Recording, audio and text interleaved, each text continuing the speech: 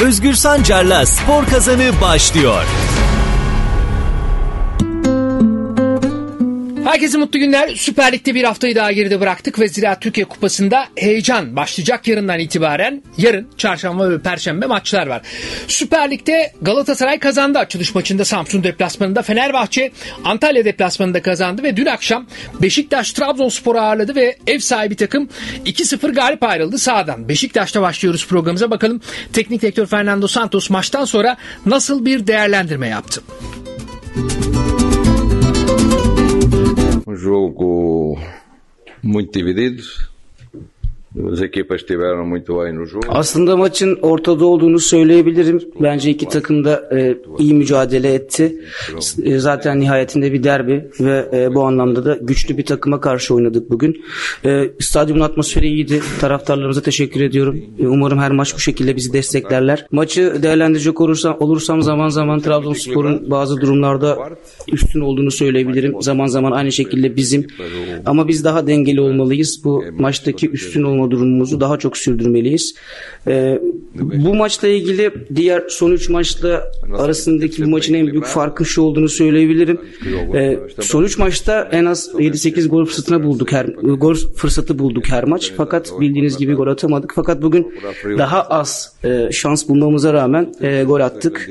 E, bence adil bir skordu. Bu maçın skoru. E, takımımızı tebrik ediyorum. E, rakip takımı da tebrik ediyorum. Gerçekten onlar da e, mücadele etmeye çalıştılar. Zaman zaman onlar da çok tehlikeli ataklar da yarattılar. Bunu az indirgemeliyiz. Ama teknik olarak en e, nihayetinde bence e, hak ettiğimiz bir galibiyet aldık. Oyuncularımı tebrik ediyorum. Agora e Çok mutluyuz kazandığımız için doğal olarak. Ama ayaklarımız yere basmalı. Bu çok önemli. Ee, bir şekilde bu galibiyet her şeyin sonu ya da başlangıcı değil. Bu anlamda da bizim e, kendimizi de iyi bilerek e, ayağımız ye- yere basarak daha çok çalışarak devam etmemiz gerektiğini de bilmemiz gerekiyor. Çünkü bugün bazı hatalar yaptık ve Trabzonspor'un yakaladığı pozisyonlarda hep bizim basit hatalarımızdan gelen top kayıpları bu hatalar sebebiyle Trabzonspor e, fazla gol fırsatı buldu. Bunu düzeltmeliyiz. Tabii ki çalışacağız. Daha iyi olacağız. E, bunun için zaten mücadele edeceğiz. satisfeito porque resultaram e E, tabii ki mutluyum. Kazandık sonuçta ve bu düşündüğümüz strateji işe yaradı kazandığımız için. Yani tabii ki bu durumlarda her maça bazen ayrı bakmak da gerekebiliyor. E, maç maç düşünmek gerekebiliyor. Bu maçta böyle bir strateji benimsedim. Çünkü öndeki oyuncumuz biliyorsunuz Semih'in topla gitme özelliği var e, güçlü. Cenk de çok iyiydi bugün. Sol kanatta çok top tuttu. Alan yarattı e, takım arkadaşlarına. Milot keza kendisi yine rakip derinliğe girdi. Rakip arkasında koşular yaptı. Raşit iyiydi. E, sağ tarafta istediklerimizi yaptı. Amarte dediğiniz gibi kendisi de oyunu tuttu. Orta sahada gayet güçlüydü. Bu anlamda e, bugünkü bu stratejinin e, olumlu işlediğini söyleyebilirim. Fakat önümüzdeki maç için böyle mi olur, nasıl olur bunu gerçekten bilmiyorum. Çünkü e, maça göre e, strateji belirlemeyi benimseyen bir hocayım. Já disse que nos, meus jogadores, quando os ponho jogar tenho confiança neles, portanto posso sempre tomar alguma decisão. Hep dediğim gibi her aldığım kararda e, net bir durum var. Ben oyuncularıma güveniyorum. Onlara bu güvenim her zaman sürecek. Não, claro que esta pode ser, esta, temos duas formas de jogar, é isso que pela primeira vez tivemos uma semana. Bütün hafta çalıştık zaten. Başka planlarımız da var bildiğiniz gibi. Ama bu maç özelinde böyle bir plan benimsedik. Bunu her maça yayacağız, her maç böyle bir oynayacağız diye bir şey zaten söyleyemem. Bu maç maç bazı şeyler değişebilir. Önemli olan biz ofansif olarak nasıl e, oynuyoruz, def- defansif olarak nasıl oynuyoruz. Aslında bunları e, biz gözlemliyoruz takımımızda. 2 artı 1, üçlü, 4. Ya bunların hepsi e, değişebilir, değişkenlik gösterir. Fakat futbol dinamik bir oyundur. Bu net futbol bildiğimiz tabiri caizse langırt gibi bir oyun değildir. Oyuncuların statik olduğu bir oyun değil sizin de bildiğiniz gibi. Bu dinamizm içerisinde zaten bu formasyonlar da bir anlamda işe yarıyor. Bu yüzden biz her maça bütün hafta çalışıp ona göre e, belirliyoruz sistemimizi. Bugün burada maçı konuşmak için bu basın toplantısını yapıyoruz. Transferlerle ilgili konuşmanın durumu değil şu an. Maçla ilgili konuşalım. Oyuncularımı tebrik ediyorum. não tem a ver uma coisa com. Eu por mim, eu, eu sempre, eu falar que Yani burada da bir karmaşıklık var aslında. Ben bu konularla ilgili çok fazla konuşmadım. Yani sürekli bir 6 6 6 konuştum da yani 6 e, illa 6 işte yok 8 ya bu tarz bir illa böyle olacak şöyle olacak bir konuşma olmadı. Genel anlamda bunlarla ilgili tabii ki yorumlar yaptım. Fakat şu an siz gazetecisiniz çok saygı duyuyorum. Herhangi bir soruyu sormakta özgürsünüz ama artık bu soruyla ilgili yani transferle ilgili benim hani şu an e, açıklayacak bir durumum yok. Özür dilerim bunlarla ilgili yani transferle ilgili oyuncu şu oyuncu şöyle olacak böyle olacak. Herhangi bir yorum yapmam mümkün değil. Nós, trabalhamos, nós trabalhamos, trabalhamos muito esta Bu hafta oyuncularım çok çalıştılar. Tamam. Ben geldiğimden beri e, oyuncularımla farklı e, yöntemler deniyorum. Ofansif olarak e, nasıl ulaşabiliriz rakip kaleye? Nasıl goller atabiliriz? Ortadan, şutla, ceza sahası içinden. Bunların varyasyonlarını çalışıyoruz. İlk haftadan beri. Ama önemli bir nokta var burada. Benim belirtmek istediğim oyuncu isminden bağımsız bir şekilde ben bu takımdaki herkese güveniyorum. Ki herkese de şans vermek istiyorum. Hafta içerisinde idmanlarda nasıl çalışıyorlarsa bana gösteren oyuncuları ben oyuna alıyorum. Bu demek değildir ki oynamayan göstermiyor. Ama tabii ki ilk 11, 11 oynuyor sahada. Bu anlamdan baktığımız zaman ben 90'da girsin, 85'te girsin. Benim için önemli değil o oyuncu. Eğer oyuna giriyorsa her türlü katkı vermek zorunda ki veriyor bence çoğu oyuncunun bu katkıyı. Bu anlamda bu isim üzerinde konuşmak yerine genel olarak biz bunları geliştiriyoruz. Daha farklı goller atmak zorundayız. Tabii ki daha iyi gitmek zorundayız. Ama her oyuncuya ben güveniyorum. Önemli olan çok, çok net bir şey bu. Ben bu takımdaki her oyuncuya e, güveniyorum. Por exemplo, o moleque que hoje não jogou e, e tem trabalhado muito bem e, portanto, pode amanhã pode, pode jogar e, portanto, é assim, o futebol é isto. Não jogam todos, nem todos jogam no princípio. Mas outras vezes vão jogar outros e vão ficar outros de fora. Dediğim gibi az öncekinde de bağlarsak bunu Muleka bugün oynamadı ama bu kötü çalıştığı anlamına asla gelmiyor. Müthiş çalışıyor idmanlarda ama oynamadı bugün. Özgür Sancar'la Spor Kazanı devam ediyor.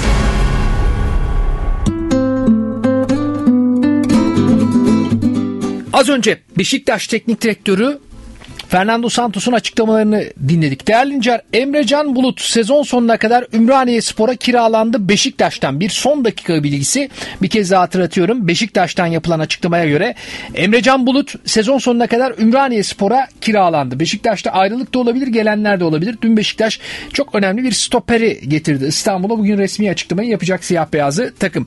Şimdi transfer çalışmalarına bakacağız ama öncesinde Trabzonspor'a bakacağız. Trabzonspor cephesinden dün akşamki maç nasıl değerlendirildi? Teknik direktör Abdullah Avcı'yı dinliyoruz. Evet bugün öncelikle gene dün şehitlerimiz vardı. Hep her seferinde zor zamanlar diyoruz. İnşallah son olur diyoruz. Ama e, bir türlü önüne geçemedik veya bu durumda şehit ailelerine e, ülkemize başsağlığı diliyorum. İki gün sonra da biliyorsunuz birinci senesi oluyor depremin. Ee, biz oralarda belki olamadık ama dışarıdan destek olmaya çalıştık. Acılarını paylaşıyoruz. Umarım devletimizin, insanlarımızın, şirketlerimizin ve bizlerin yaptığı katkılarla yaraları biz ne kadar dışarıda olsak yaralarının sarıldığı çok kolay olmayacak. Ee, birinci senesi oluyor. Ee, yine biz ülke olarak bu böyle bir durumlarda duygusal tarafımız fazladır. Yani destek olmak, içinde olmak en büyük arzumuz, isteğimiz. Bir an evvel o yaraların sarılması bütün arzum, isteğim bu. Onun dışında maça gelince e, son haftalarda veya bu senenin içinde genel olarak baktığında iki tane büyük camianın e, istediği sonuçları alamadığı bir süreci hep beraber yaşıyoruz. Ee, ve birbirine yakın hedeflerimizin dalgalanmaların fazla olduğu, oyunların değiştiği, Beşiktaş'ta 5 hocanın olduğu, işte bizde de ben ikinci defa geldim, ikinci hocanın olduğu ve e, süreçler, e, inişler çıkışlar bu futbolun içindeki olan süreçleri hep beraber iki tane büyük camia bu süreci çok e, sağlıklı geçirmiyor. Aslında geldikten sonraki bizim puan ortalamamız son derece son bir haftada 3 maç ve bugün de dördüncü maçı kaybettik üst üste. Puan ortalamamız iyi giderken koyduğumuz hedefte bir şaşma olmazken belki arayı açacakken biraz uzak kaldık bugün baktığında. Ee, bu süreç bir ay nasıl geçti? Bunu biliyorsunuz. Çok da telaffuz etmek istemiyorum ama 13-14 oyuncunun olmadığı, 11'den 17-8 oyuncunun yani içinde bulunmadığı, ayrılanların Afrika Kupası ve sakatlıklarla beraber bir süreci e, zorlanarak son haftaya gelene kadar yani son bir haftaya dört maça gelene kadar yaşadık. Kırılmalar olacaktı ama belki de son iki maçı bugün de, bugün de dahil üç maçı da kaybetmeyebilirdik. E, bu kayıpları e, yaşadık. Trabzonspor büyük bir camiadır. Bu süreçlerin hepsinden nasıl Beşiktaş'sa aynısı her zaman çıkışları vardır. Taraftarın bu anlamdaki desteği sonuna kadar da bir kazanma e, serisine e, tekrar başlayacağız. Bugün iki tane oyuncunun bile olması bizde dönmesi Trezeguet ve Dansville'in e, bizi bir biraz oyunun üstünlüğünü de bugün ele alarak oyunun genelinde üstün oynayan Trabzonspor'du. Alarak olmasını sağladı. Bugün oyunu değerlendirecek olursak son haftalardaki son 3 maçta oynadığımız en iyi oyun oynadık diye düşünüyorum. Hem topa sahip olmadı. Rakibe, rakipten daha fazla pozisyona girmedi. İlk, ilk, ilk şut galiba e, gol yedik 44. dakika. Onun evvel vurdu. Semih'in vurduğu vardı. Dansville'den dönmüştü. E, onun öncesinde şöyle bir kısa bir değerlendirme yapayım. E, biliyorsunuz hakem hakkında benim 20 senede 5 kere falan yoktur. Hatta bir keresinde de e, bir maçta çalıştırırken hakem de formsuz ben de formsuzum dedim. Ben o maçı bizim kazanmamız lazım. Hakem üzerinden konuşmamız lazımdı. Hakem de o konuda bize telefon açıp teşekkür etmişti. Gene merak ediyorum bir bilgilendirme istiyorum. Ee, geçen hafta maç 1-0 devre galibim 2-0 3-0 içeri girebiliyorum. Çünkü kırılmalar yaşanabiliyor böyle durumlarda. Taç 46. dakikada gol oluyor. Dönmüyorlardan golü yiyorum ve bir kırılma yaşıyorum. Yaşamamam lazım yaşıyorum. Bugün benzer pozisyon olduğu için söylüyorum konuşuyorum. Biz Fenerbahçe'de Kadıköy'de de oynadık. 3-2 kazandık. Aynı pozisyonu da biz iki tane bir tane net verdiler. Penaltı verildi. O gün de sordum. Yani forması sırtından çıkmış bir oyuncu ya tam tersi penaltı verildi. Bunu merak ediyorum. Bilgilendirme istiyorum. Bugün de 44. dakikadaki pozisyonun ne olduğunu e, merak ediyorum ve bilgilendirme istiyorum. Dönüşünde gol dedik. Devre içeri e, girdik ve ikinci yarı itibariyle de bence gene oyunun üstünlüğü vardı ve pozisyon üstünlüğü de vardı. Rakibe hiç pozisyon vermedik. Taçtan yapmamız gereken ne kadar iyi oynarsan oyna detaylar bu oyunun sonucunu belirliyor ve e, mağlup ayrıldık. Semih'i tebrik ediyorum. Yaptığı vuruşlardan dolayı. Belki oyun içinde belki yoktu. E, iki tane iyi sonuçlar alamayan takımın karşılaşması oyun olarak kazandık ama skor olarak kazanamadık. Rakibi bu anlamda tebrik ediyorum. E, Trabzonspor süreci bundan sonraki süreç yeni belki transfer. Afrika Kupası'nda iki oyuncumuz final oynuyor. Beşiktaş'tan daha çok fazla gitti. Onlar döndü. Bizimkiler hala orada. Ee, onlar final oynuyor. Sakatların dönmesiyle beraber eğer transferde olsa olmasa da en azından bundan sonraki süreçte Trabzonspor taraftarının desteğiyle e, biz tekrar koyduğumuz ulaşılabilir hedefimize, üçüncülük ve Avrupa Kupadan gitme hedefine e, devam edeceğiz diye düşünüyorum. Trabzonspor Teknik Direktörü Abdullah Avcı'yı dinledik. Beşiktaş bölümümüzde konuğumuz Sayın Celalettin Kolot biliyorsunuz Beşiktaş'ın etkin isimlerinden eski futbol şube sorumlusu. Yayınımıza hoş geldiniz. Merhaba Celal abi iyi haftalar. İyi haftalar, hoş bulduk. Beşiktaş adına dün akşamki maçı nasıl değerlendirdiniz? Valla dün akşamki maçı e, Semih haricinde Beşiktaş'ı çok beğenmedim.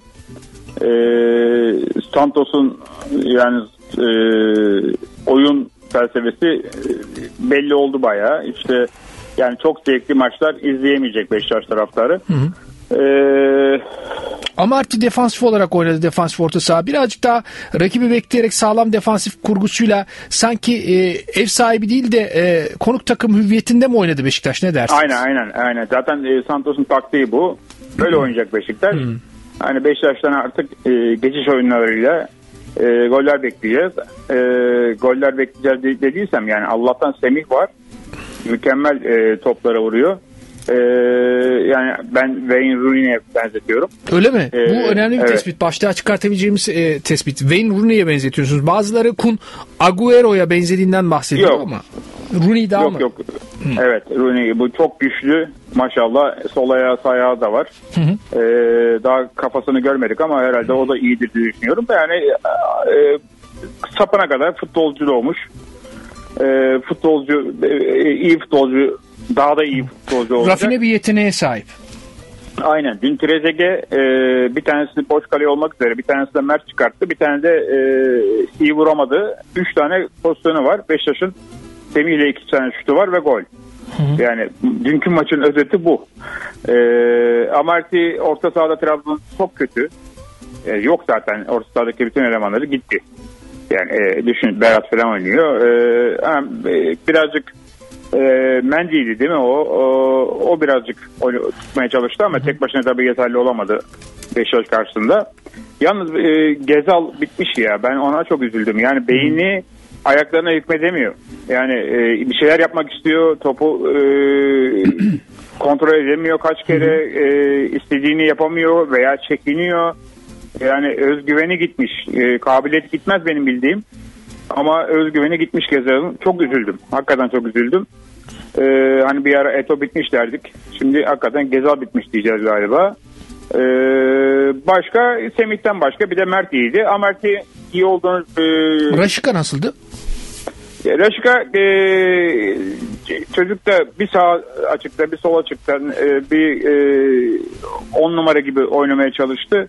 E, o da şaşırdı ne yapacağını. Cenk çok kötüydü. E, yine Abu Bakar'a geliyoruz. Yine affedilmiş galiba. E, ben Bu önemli bilgi. karşı- E, takımla birlikte çalışmalara başlayacak mı Abu Bakar? E, duyduğunuz şey Evet, mi? evet. Hı, tamam. Aynen aynen ama yani e, ben bu konuda e, yani Beşiktaş yönetimini haklı bulmuyorum. E, Samet Hoca ile Feyyaz Hoca galiba Santos'ta çok iyi anlaşamıyor. E, yoksa bu gelen e, Forest'ten gelen stoper almazdı ben zannediyorum. E, Beşiktaş'ın scout da demek ki iyi çalışmıyor veya da dinlemiyorlar. E, yani çok birbirine e, bir kopukluk var diye düşünüyorum. Bir de o e, bu işleri yürüten çocuğun ismini unuttum. Beşiktaş yönetim. Çocuk diyorum herhalde ufak birisi. Onun için öyle diyorum kusura bakmasın. Estağfurullah. E, ismini de hatırlamıyorum. E, ya Beşiktaş yok neymiş menajer onu tehdit etmiş ya. Sen Beşiktaş kulübünün yöneticisisin ki. Seni kim tehdit edebilir ya? Yani e, bu çok... e, Kimin menajeri tehdit etmiş Beşiktaşlı yöneticiyi? e, işte aradaki menajerler söylemiyor işte. Yani bu, Ha, anladım, aracılar. Bu transferde ama. Evet. Hangi Kim- transfer? E, Joe Worrell transferi mi? Evet Joe Worrell. Ha, Joe, Joe Worrell. Transferinde evet. Ee, bu da nasıl bir stoper? Şimdi bana sorsan İngiltere'den stoper almam. Niye? Ee, yani bugün Stones 50-60 milyon pound.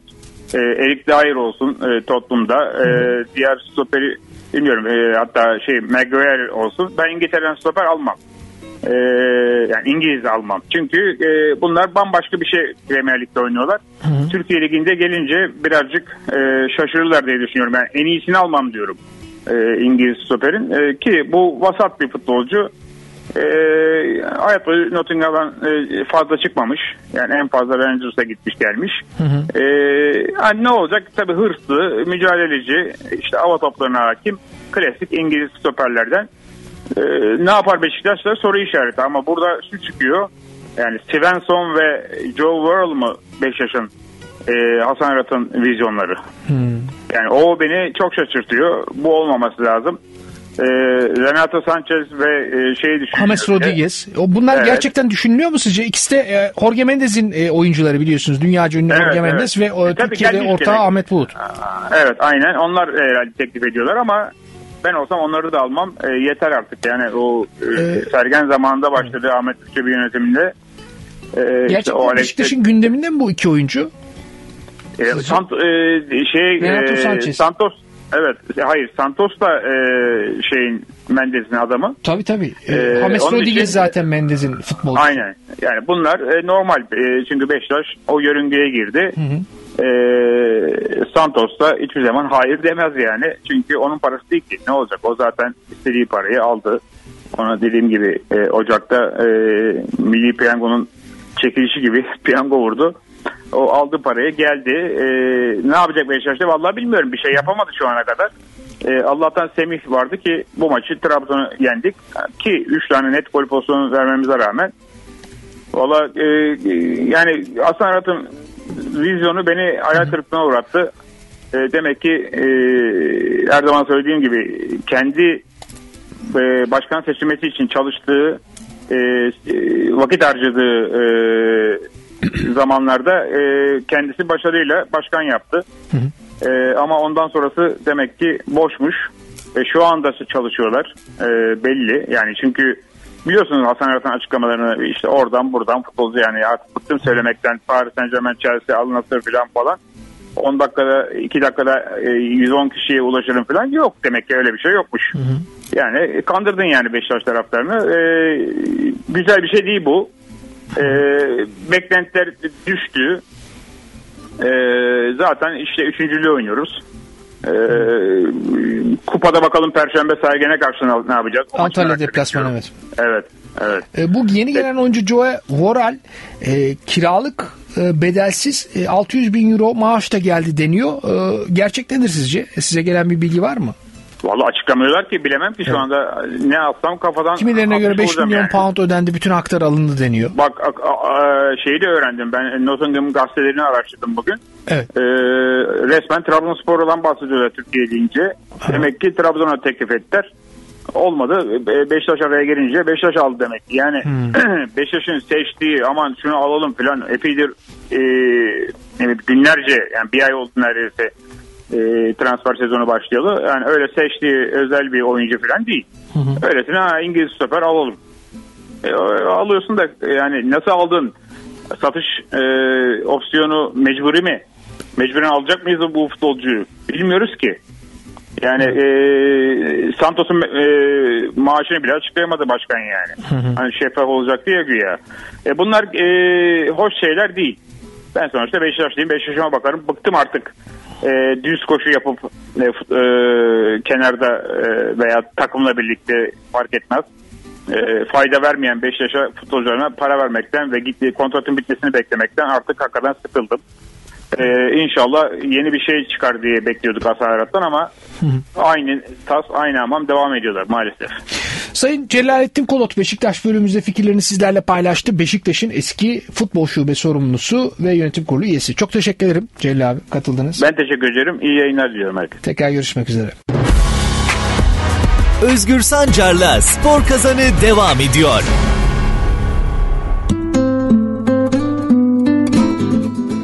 Bakalım Trabzonspor açısından dün akşam ka- karşılaşma nasıl gözüküyor? Teknik direktör Lemi Çelik'e soracağız. Biliyorsunuz futbolculuğunda Trabzonspor'un formasını başarıyla giymişti.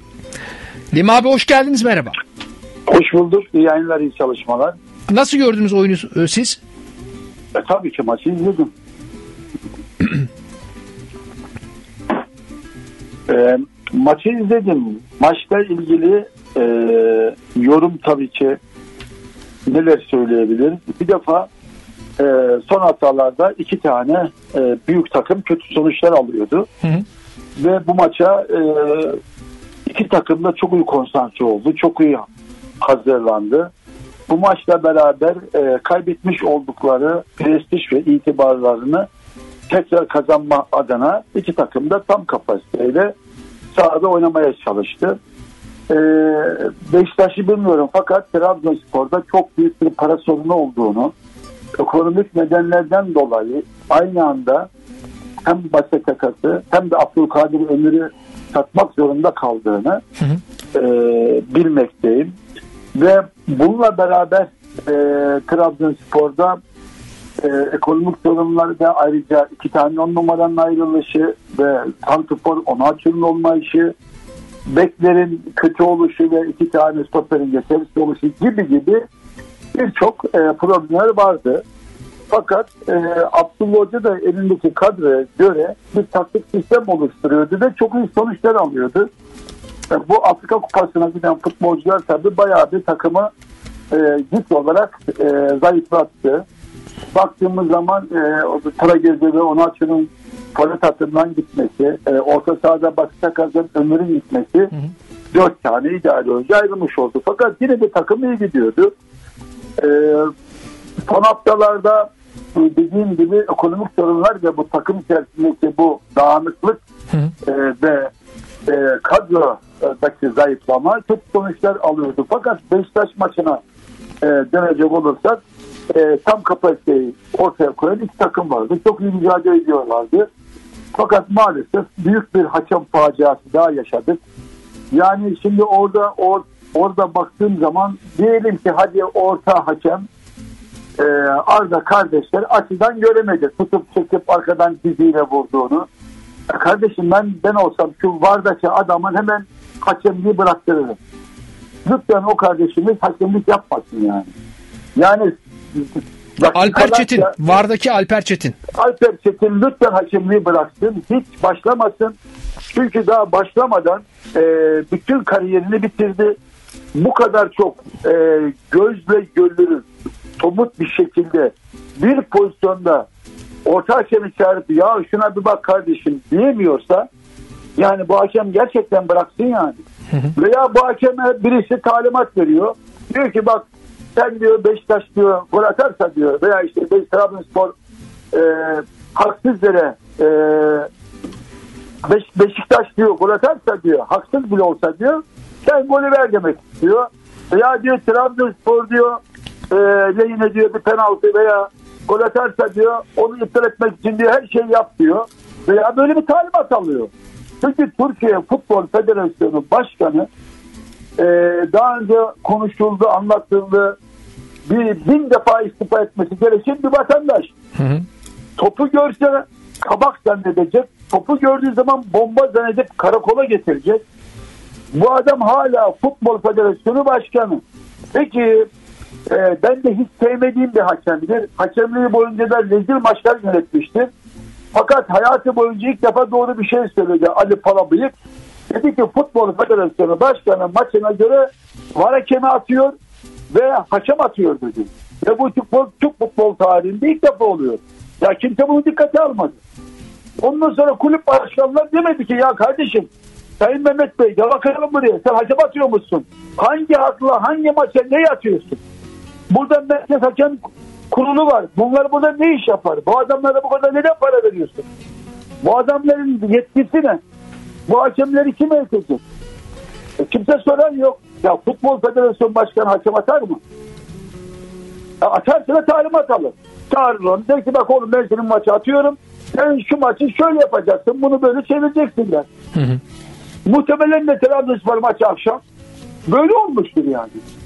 O Arda kardeşler göremedi diyelim ama orada konuşuyor. Arda kardeşler gitmek istiyor şeye bana. Evet. Ama e, orada orada diyor ki bana hakemi gelme diyor. Burada bir şey yok diyor. Anladım. Lan- Muhtemelen lan- pozisyon temiz dedi. E, o da devam ettirme kararı aldı Arda kardeşlerde. E- evet diyor ki ya ne var diyor burada diyor. Tam göremedim diyor. Bak diyor burada po- po- şey, penaltı pozisyonu var gibi diyor. Hissediyorum diyor. Falan filan. O da diyor gelme diyor. Burada bir şey yok diyor. E şimdi bu Alper Çetin hangi vicdanla uyuyor? Hangi ahlakla dolaşıyor? Veya bunun gözüne gözlük mü lazım? Bunu hemen getirip bir gözlükçüye gözleri muayene ettirmek lazım. ya bu kadar vicdansızlık, ahlaksızlık olur mu ya? Ne utanmaz herif ya. Hemen hakemliği bıraksın yani. Bu kadar olmaz yani. Ayıptır ya. Peki. E, Trabzonspor'da bir e, Santfor transferi bekliyor musunuz? Çünkü e, gol üretmekte, daha doğrusu pozisyon üretmekte ve e, topu kullanmakta bence Beşiktaş maçında sorun yaşamadı ama e, mesela Trezeguet 2 metreden boş kaleye gol atamadı. Bir tane futbolcu var Sevilla'da Rafa Mir isminde. E, Beş, Trabzonspor'un ilgilendiği bir oyuncuydu. Bekliyor musunuz böyle bir transfer? Emi abi. Şimdi e, ben Trabzonspor'da Enis Destan'a güveniyorum. Enis Destan iyi bir santrafor. Ve her topu indiriyor. Topun oyunun devamında asla top kaptırmıyor. Hem kafayla indiriyor hem topu koruyup ya santraforun görevi nedir zaten? Oyun akışında pas ba- bağlantılarını sağlamak, oyunun devamlılığını devam ettirmek, topu rakibe kaptırmadan ve ayrıca gol pozisyonlarına koşup gelen toplara vurup gol atmak. Şimdi Enes Destan bunların hepsini yapıyor. Fakat Trabzonspor'da 2-10 numara gitti. Şimdi Trabzonspor kanatlardan Biska sağda iyi oynuyor. Form tuttu güzel. E, solda Tregezz'e gol kaçırıyor ama yine biraz daha o e, çok daha etkili oynuyor. O şey neydi o çocuk Yunanlı bir çocuk vardı. Ya bırak. Bakasetas. Yok hayır hayır. Fontus. Fontus Aa mu ne? Fontus evet. Fontas mı ne bir tane çocuk vardı. Çocuk üçüncülükte oynayamaz. Trabzonspor'da bu çocuğun ne işi var? Çocuk topu alıyor kafayı yere eğ- eğiyor. Mahallede halı sahada oynar gibi oynuyor. La oğlum baksana karşıda millet koşuyor. Orta alsana. Pas versene. Bu kadar kolay top kaptırılır mı? Sen Süper Lig'de oynuyorsun. O çocuğun orada ne iş var onu da anlamış değilim. Kim aldı onu onu da anlamış değilim. Şimdi yine Tregeze daha o çocuktan çok daha iyi. Çok daha verimli. Gol kaçırdı doğrudur. E, atması gerekiyordu ama Tregeze zaten bunları atsa e, bu hızıyla, bu atmış, yapmış olduğu driplüklerle ve yapacak, biraz da asist yapabilse isabetli kime benziyor biliyor musun? Grealish yok mu? Manchester City'de. Evet, Grealish. evet. Grealish City'de oynuyor. Bak Grealish giriyor, gol atıyor, gol pasları atıyor, penaltı kazandırıyor. Başka taraf şeyin Tregezzer'in böyle oynaması lazım. Tregezzer, e, Grealish biraz daha kafasını kaldırıyor. İşte Vakayeme gibi. Arkadaşlarına gol pası atıyor, asist yapıyor. Ya Bu bizim Tregezzer kafayı kaldırmıyor. La oğlum kaldırsana kafanı. Bak orada arkadaşım bomboş. Bir isabetli ortayla gol attırırsın Enes Destan'a. Bunlar eksik doğru ama dediğim gibi e, asıl kanatlardan saldırıyor Trabzonspor. Fakat kanatlar kapanınca ne olması lazım? Merkezden de ataklar yapılması lazım. Bunlar nasıl olur? Verkaçlarla olur. Santrafora topu atarsın. Santrafor sana şu pozisyonu hazırlar. Uzaktan şutlarla olur. Ondan sonra defansla kaleci arasına e, küçük küçük derin koşular sürpriz koşular yaptırırsın. O derin ve derin koşular yaptırırsın. E, orta saha oyuncuları gelir oralara. Öyle gol bulursun. Fakat Patatekas gibi Abdülkadir Ömür gibi 10 numara oynayacak adam olmadığı için e, biz bunları Trabzonspor merkezine etkili olamaz. Ha buraya kimi koydu? Badri'yi koydu. Badri'den maalesef Trabzonspor düzenli bir oyuncu değil. Yani bu adamı oynatıyorsun oynatıyorsun. Bu adam niye alındı? Kim aldı? Ee, Özgür Trabzonspor'da enteresan bir şey var. Trabzonspor kul- kulübünde futbolu bilen kimse yok. Mesela yönetim kurulu. Ee, Ertuğrul Doğan, bizim Nevzat Kaya, arkadan işte Zeyat e, Kafkas. Kafkas, evet. Bunlar hepsi tanıdığımız arkadaşlarımız. Ama bunların hiçbir tanesi futbol oynamadı. Hiçbir tanesi futbolla futbolcu seçimini bilmez. Bunlar iyi insanlardır. İyi yönetici olmaya çalışırlar. Trabzonspor sevdalılardır. Tamam doğrudur. İyi de kardeşim transfer yaparken şimdi e, Sadık Mehmet'i ben aldırır mıyım oraya? ben Puntas'ı ve Badri'yi aldırır mıyım? Aldıramaz. Ama işte bu seviyeyi anlayacak. Bunların bu takımda oynayamayacağını anlayacak. Orada kimse yok. Maalesef kimse yok. Trabzonspor'da bu kadar geçmişse başarılı olmuş teknik adam var, eski sporcu var, eğitimli, bilgili, kültürlü, bu işleri çok iyi yapacak, ahlaklı. Ama hiçbir tanesini kulübe sokmuyorlar. Ne kadar futbolu bilmeyen varsa kulüpte ama futbolu bilen bu kadar milli olmuş, bu kadar değerli arkadaşlarımız hiçbir tanesini kulübe sokmuyorlar. Enteresan bir durum. Ondan sonra da bunları yaşıyorsunuz. Yani. Lemi abi çok teşekkür ederim. Ağzınıza sağlık. Beşiktaş'a fazla değinemedim. Ben teşekkür ediyorum. Artık Beşiktaş'ta başka Bir sonraki programda- yayınımızda Beşiktaş'ı ele alırız. Peki. Evet, evet. Bir kez daha teşekkür ederim katıldığınız için.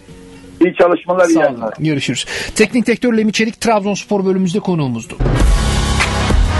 Özgür Sancar'la spor kazanı devam ediyor.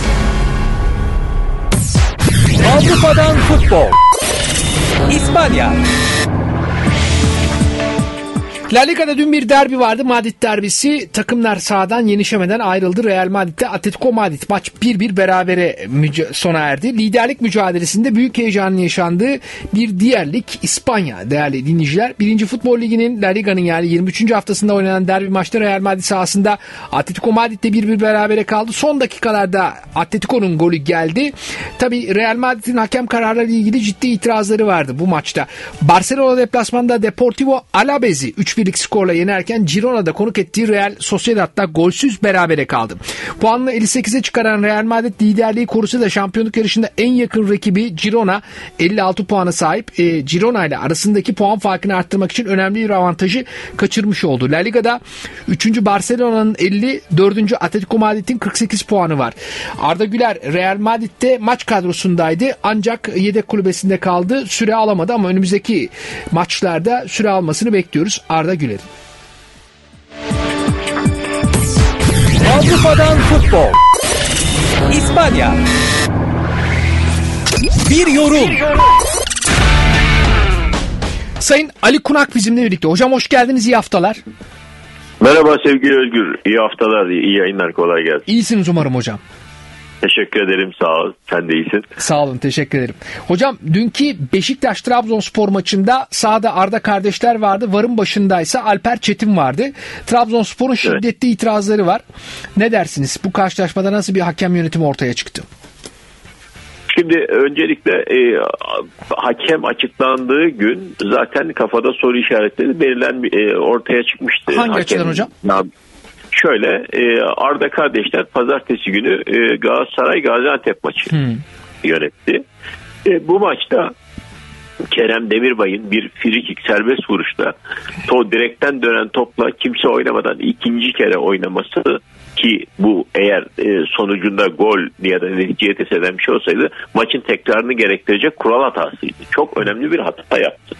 Ve bunun haricinde de Icardi'nin köşe vuruşundan gelen topa yükselemeyişi net bir Galatasaray penaltısıydı. Bunu vermedi. Arda kardeşler o maçtaki performansıyla bas bas bağırıyordu. Ben formda değilim, ben formda değilim diye. Ama nasıl oldu, ne bitti? Bunca hatayasına rağmen 6 gün sonra ligin derbisine e, bu maçı atadı Merkez Hakem Kurulu. Artık eskisi gibi atama yapay zeka ile direkt olmuyor Özgür. Üç isim veriyor yapay zeka. Merkez Hakem Kurulu bunlardan birisini tercih ediyor. Yani. Merkez Hakem Kurulu ne yapalım çaresiziz yapay zeka bunu atadı diyecek diyebilecek bir mazereti de yok yapay zeka onlara 3 isim verdi. Onlar o 3 isim içerisinden bunu seçtiler, bunu tercih ettiler ve bunu yapmamaları gerekiyordu. Dün akşamki maçtaki kötü hakem yönetiminin sorumlusu yanlış ve atamalı e, yanlış e, e, ve hatalı atamadır. Gelelim maça. Hocam Maçta çok özür işte... bir parantez açarak çok özür diliyorum. Bir parantez açarak şunu sorabilir miyim size? Ee, yani Tabii. kamuoyunun kafasında çok ciddi bir istifam var. Yanılıyorsam siz düzeltin. Bu e, atamalarda Mer- Merkez Hakem Kurulu'nda Tolga Özkalfa görevde. Atamalar 3 kişi yapıyor. Tolga Özkalfa, Ünsal Çimen ve e, Ahmet İvanoğlu MHK Başkanı. Yani icra Anladım. kurulu dediğimiz icra kurulu 3 kişiden oluşuyor bu bu dönem. E, bu üçü yapıyorlar. Ama fiilen atamaları başkan Mehmet Büyükekşi'nin yaptığı. Dolayısıyla e, algoritma ile daha doğrusu yapay zeka ile bu atamaların yapılmadı. Doğru doğrudan Mehmet Büyükekşi'nin direktif verdiğinden bahsediyor. Doğru mu bu iddia sizce? Valla bu, bu şimdi bunun e, doğruluğunu iddia etmek için oralarda yaşamış görmekle e, görmüş olmak lazım e, Özgür. Ama bu söylenti çok had safhada her salı günü Merkez Hakem Kurulu Başkanı e, Riva'daki e, makam katına çıkarak e, Sayın Mehmet Büyükekşi ile görüşüyormuş. Ha ne görüşüyorlar bunu bir şey iddia edemeyiz ama söylentilere göre hakem atamalarının planlaması bu görüşmede yapılıyormuş deniyor. Özgür. Yani e, bunu iddia olarak değil de duyum olarak bunu e, söyleyebilirim sadece. Yani iddia etsem e, kesin bir dayanağım olması Tabii lazım. Öyle bir dayanağım yok. De, ama... Yani bu kesin bilgi diyemeyiz. Çok yoğun söylenti iddia, var. İddia değil mi? Söylentiler bu yönde. Çok, çok yoğun söylenti Siz var. Siz itibar ediyor musunuz bu e söylentileri şimdi, hocam? Valla Mehmet Büyükekşi'nin atamalara e, müdahil olma konusunda e, böyle bir e, istekli bir tarzı olduğunu ben de biliyorum. Ya, yaşadık yani geçen sene meğer biz atamaları yaparken bizim atamalar o, o, o ve danışmanı tarafından takip ediliyormuş. Bunu biz sonradan öğrendik de e, böyle bir e, şey de vardı yani geçen seneki e, sisteminde böyle bir şeyi de öğrenmiştik. Bunu bize söyleyen de Ahmet İvanoğlu'ydu. Size daha önce de sormuştum bu soruyu. Hiç Mehmet Büyükekşi'den e, sizin Lale Orta Başkanlığı'nda oluşturduğunuz Bak, Mer- o, Merkez Eğitim Kurulu Başkanı'na geldi mi direktif Bak, ya da telkin? O, o, oldu dersem yalan Atamalarla söylerim. ilgili anladım. İçinde, ad, ha, atamalarla ilgili yönlendirmesi şu su bu su bir şey olmadı. Oldu dersem yalan adamın da hakkını eleştiriyoruz bilmem ne de. Hı. Bu konuda asla asla Mehmet Büyükekşi'den ne bir yönlendirme ne bir tavsiye ne de bir şey o, o, görmedik. Ama, Ama bu Merkez Hakem e, Kurulu için söyleniyor sisteme, bunlar. Hı.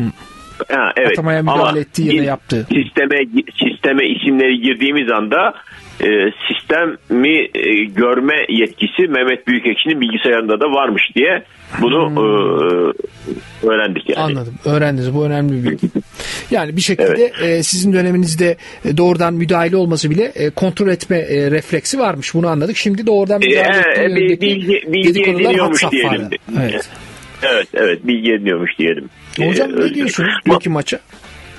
Maça gelince şimdi e, maç başladıklarından itibaren Arda kardeşlerin böyle yorgun, isteksiz, az koşan, pozisyonları böyle yana inip de izleme e, hevesinden uzak, arkada kalıp da böyle e, saatte e, 7-8 kilometre hızla koşarak e, bir maç yönetme şeyini e, gördük. E, isteği ortaya, tarzı ortaya çıktı. Ve nitekim 42. dakikada e, bomba patladı. Şimdi o pozisyonda Arda kardeşlerinin çok ciddi yer alma hatası var. İki oyuncuyu nın sadece birisini görebilecek açıdan baktığı için pozisyonun dikine baktığı için arkadaki e, Svensson'un yapmış olduğu gerek eliyle formadan çekme gerekse de diziyle e, rakibinin e, şeyine kabayetine yapmış olduğu darbeyi göremedi. Yer alma hatasından dolayı. Ama bu iki ihlalin bir arada olması var protokolü gereğince resmen bir kayıttır sevgili Özgür. Duyuyor musun beni? Duyuyorum hocam resmen bir kayıttır mı dediniz? E bunu nasıl yorumlamalıyız bu sözü? Nasıl bir kanıt, anlamalıyız? kanıttır. Ha, kanıt, kanıt, var anladım, protokolü, kanıt. Kan, kan, kanıttır. Kanıttır, evet. Var protokolü Var gereğince devreye kanıttır. girmedi peki hocam? Kanıt olduğu zaman da varın mutlaka mutlaka devreye girmesi gerekir. Var protokolü gereğince. Ee, ama dün akşam girmedi. Var o arada ne yapıyordu? Ne ediyordu? Niye girmediler? Ee, bunun şimdi var kayıtları açıklanacak açıklanacak diyor ya. Şimdi ben eğer şeffaf olacaksanız dün akşamki o pozisyonu açıklayacaksınız. Var kayıtlarının o pozisyonunu açıklayacaksınız. Yani öyle aradan seçip de e, varla monitöre gittiği zamanki konuşmalar yayınlanacakmış. Şimdi şey proje oymuş. E, ama kamuoyu onu merak etmiyor ki kamuoyu. Kamuoyu niye çağrılmadığını merak ediyor. O arada ne konuşmalar geçti onu merak ediyor. Kamuoyu geçen hafta Icardi'nin yükselemediği pozisyonda niye çağrılmadı onu merak ediyor. Onlar e, açıklama planlaması da yokmuş şimdilik. E, sadece ve sadece hakem vara çağrıldığı zaman monitör başında var odasıyla hakem arasında geçen konuşmalar yayınlanacak şeklinde bir e, çalışma var şu anda. Bu çalışmanın da e, şeffaflık ve kamuoyunu tatmin etme açısından ben yetersiz olacağını düşünüyorum. Anladım. Hocam e, gelelim Samsun Spor Galatasaray maçına. Galatasaray'ın iki tane itirazı var. Penaltı itirazı. Bir Icardi'nin e, omzundan çekilerek düşürülmesi. İkincisi Kaan Ayhan'ın vurduğu topta e, rakip takım oyuncusunun Samsun Sporlu oyuncunun e, topa eliyle dokunduğu e, şeklindeki bir görüntü. E, bunun dışında Icardi'nin attığı e, ama offside gerekçesiyle sayılmayan gol. Maçın hakemi Tugay Kaan Numanoğlu e, ve Varda Mustafa İlker Coşkun var. Daha önce de Galatasaray'ın maçında Varda görevlendirilmişti ve e, Galatasaray e, esas olarak Mustafa İlker Coşkun'a tepki gösteriyor. Ne diyorsunuz? Özgür şimdi var hakemleri 14 kişi. Şimdi o 26'da şey kattılar Süper Lig'de görev yapacak hakemler. sayıyı 40'a çıkardılar ama bakıyorum hala kritik maçlarda Hocam çok Süper özür dileyerek sözünüzü kestim. Ne olur kusura bakmayın. Bu konuyu konuşalım at yarışını dinledikten sonra. Olur mu? Tamam. Birazdan Tamam. birlikteyiz Tamam. Sayın Ali Kural. Tamam. Özgür Sancar'la Spor Kazanı devam ediyor. Bir yorum. Sayın Ali Kunak'ta konuşuyoruz değerli dinleyiciler. Yılport Samsun Spor Galatasaray maçı. Galatasaray 2-0 kazandı ama iki penaltı itirazı var Galatasaray'ın. E, Icardi'ye yapılan bir hareket ve sonrasında Kaan Ayhan'ın şutunda son dakikalarda uzatma dakikalarında e, rakip takım oyuncusunun eline temas eden bir top. E, bu konuda Mustafa İlker Coşkun'un başında bulunduğu var. Niçin devreye girmedi? Galatasaray bunu soruyor. Sayın Ali Kunak'a bu soruyu sormuştuk. Hocam tekrar hoş geldiniz. Merhaba tekrar sevgili Özgür.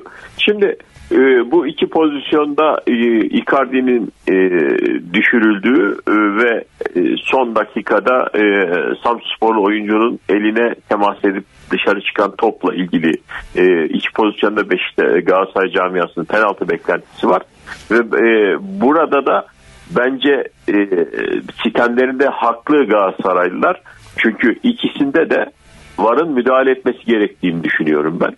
E çünkü net bir şekilde çekiliyor, indiriliyor. Hakemlerimiz hakikaten kondisyon problemi, ciddi boyutta kondisyon problemi yaşıyorlar. Pozisyonları yandan izlemiyorlar. Arkada kaldıkları için de önlü arkalı futbolcuların birbirlerine yapmış oldukları ihlalleri göremiyorlar. Ama var ne için var? Var bunlar için var. Bu tür pozisyonlar için var. Bu pozisyonda mutlaka mutlaka Icardi pozisyonda VAR'ın e, ikaz etmesi gerekirdi. E, hakemi izlemeye davet edip e, pozisyonu e, izlettirmesi gerekirdi.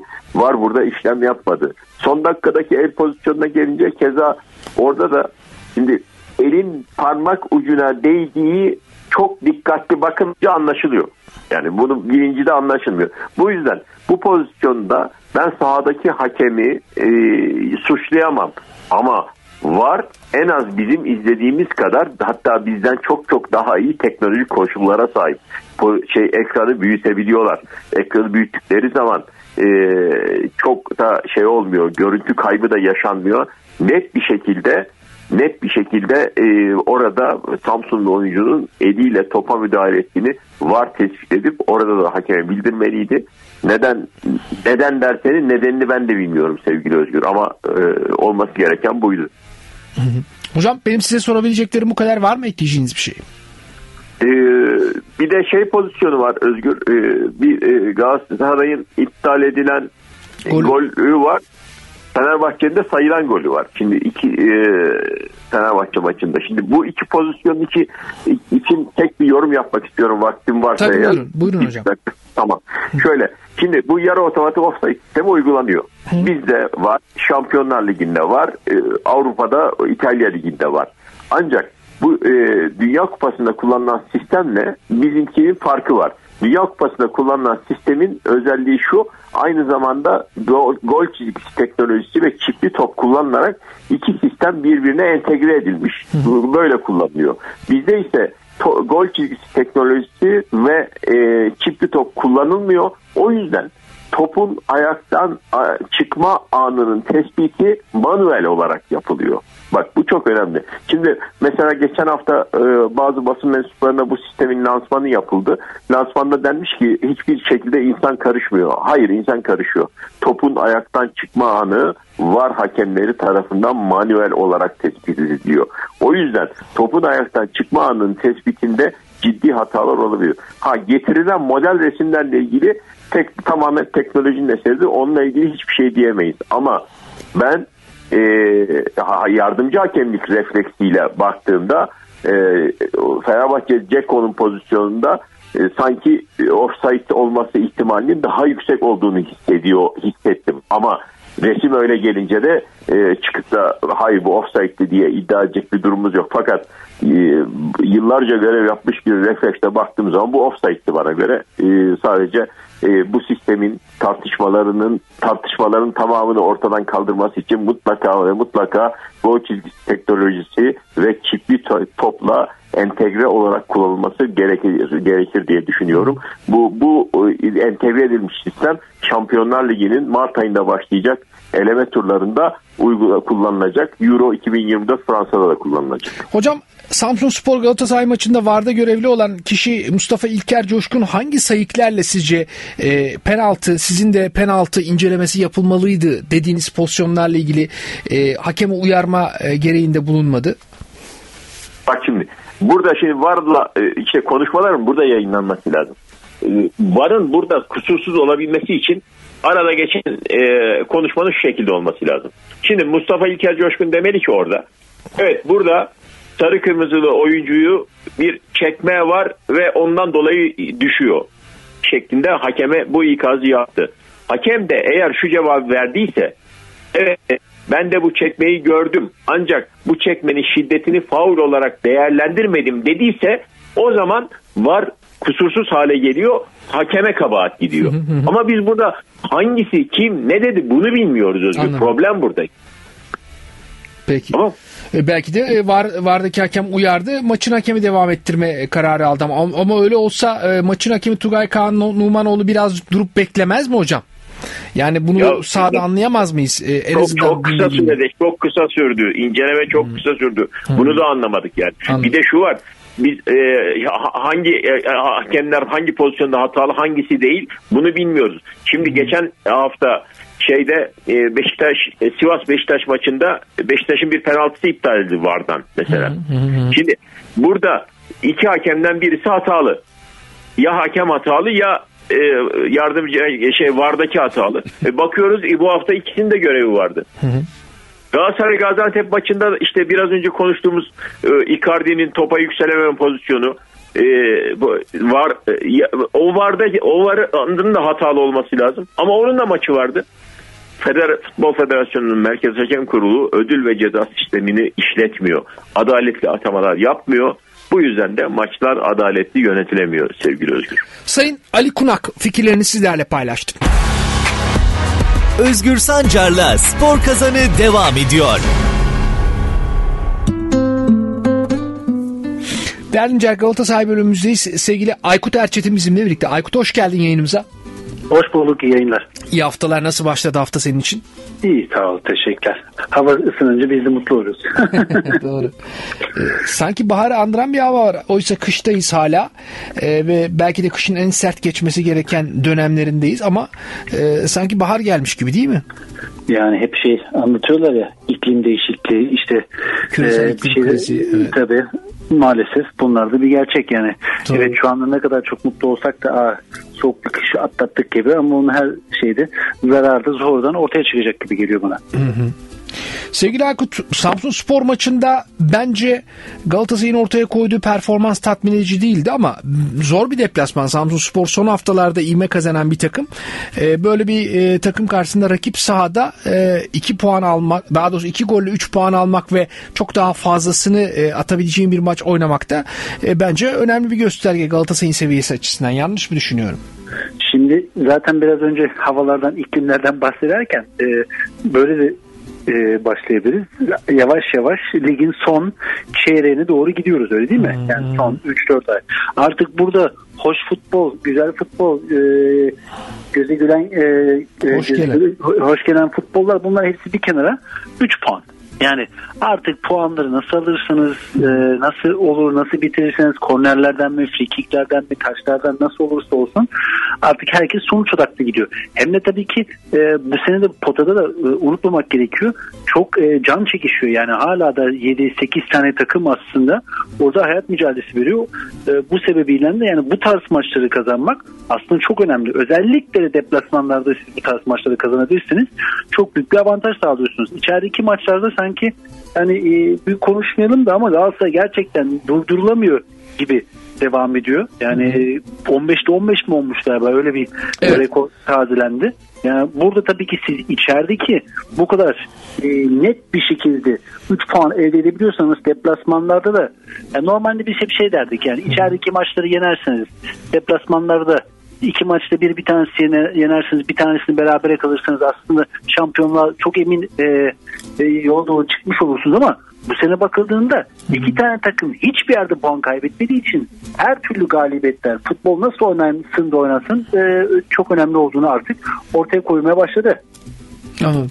Aykut e, Fernando Muslera'ya Eyüp Spor talip olmuş. Eyüp Spor Başkanı e, Fernando Muslera'ya Süper Lig'e çıkarsak 2 yıllık sözleşme yıl başına işte her yıl için 2 milyon euro garanti para demiş.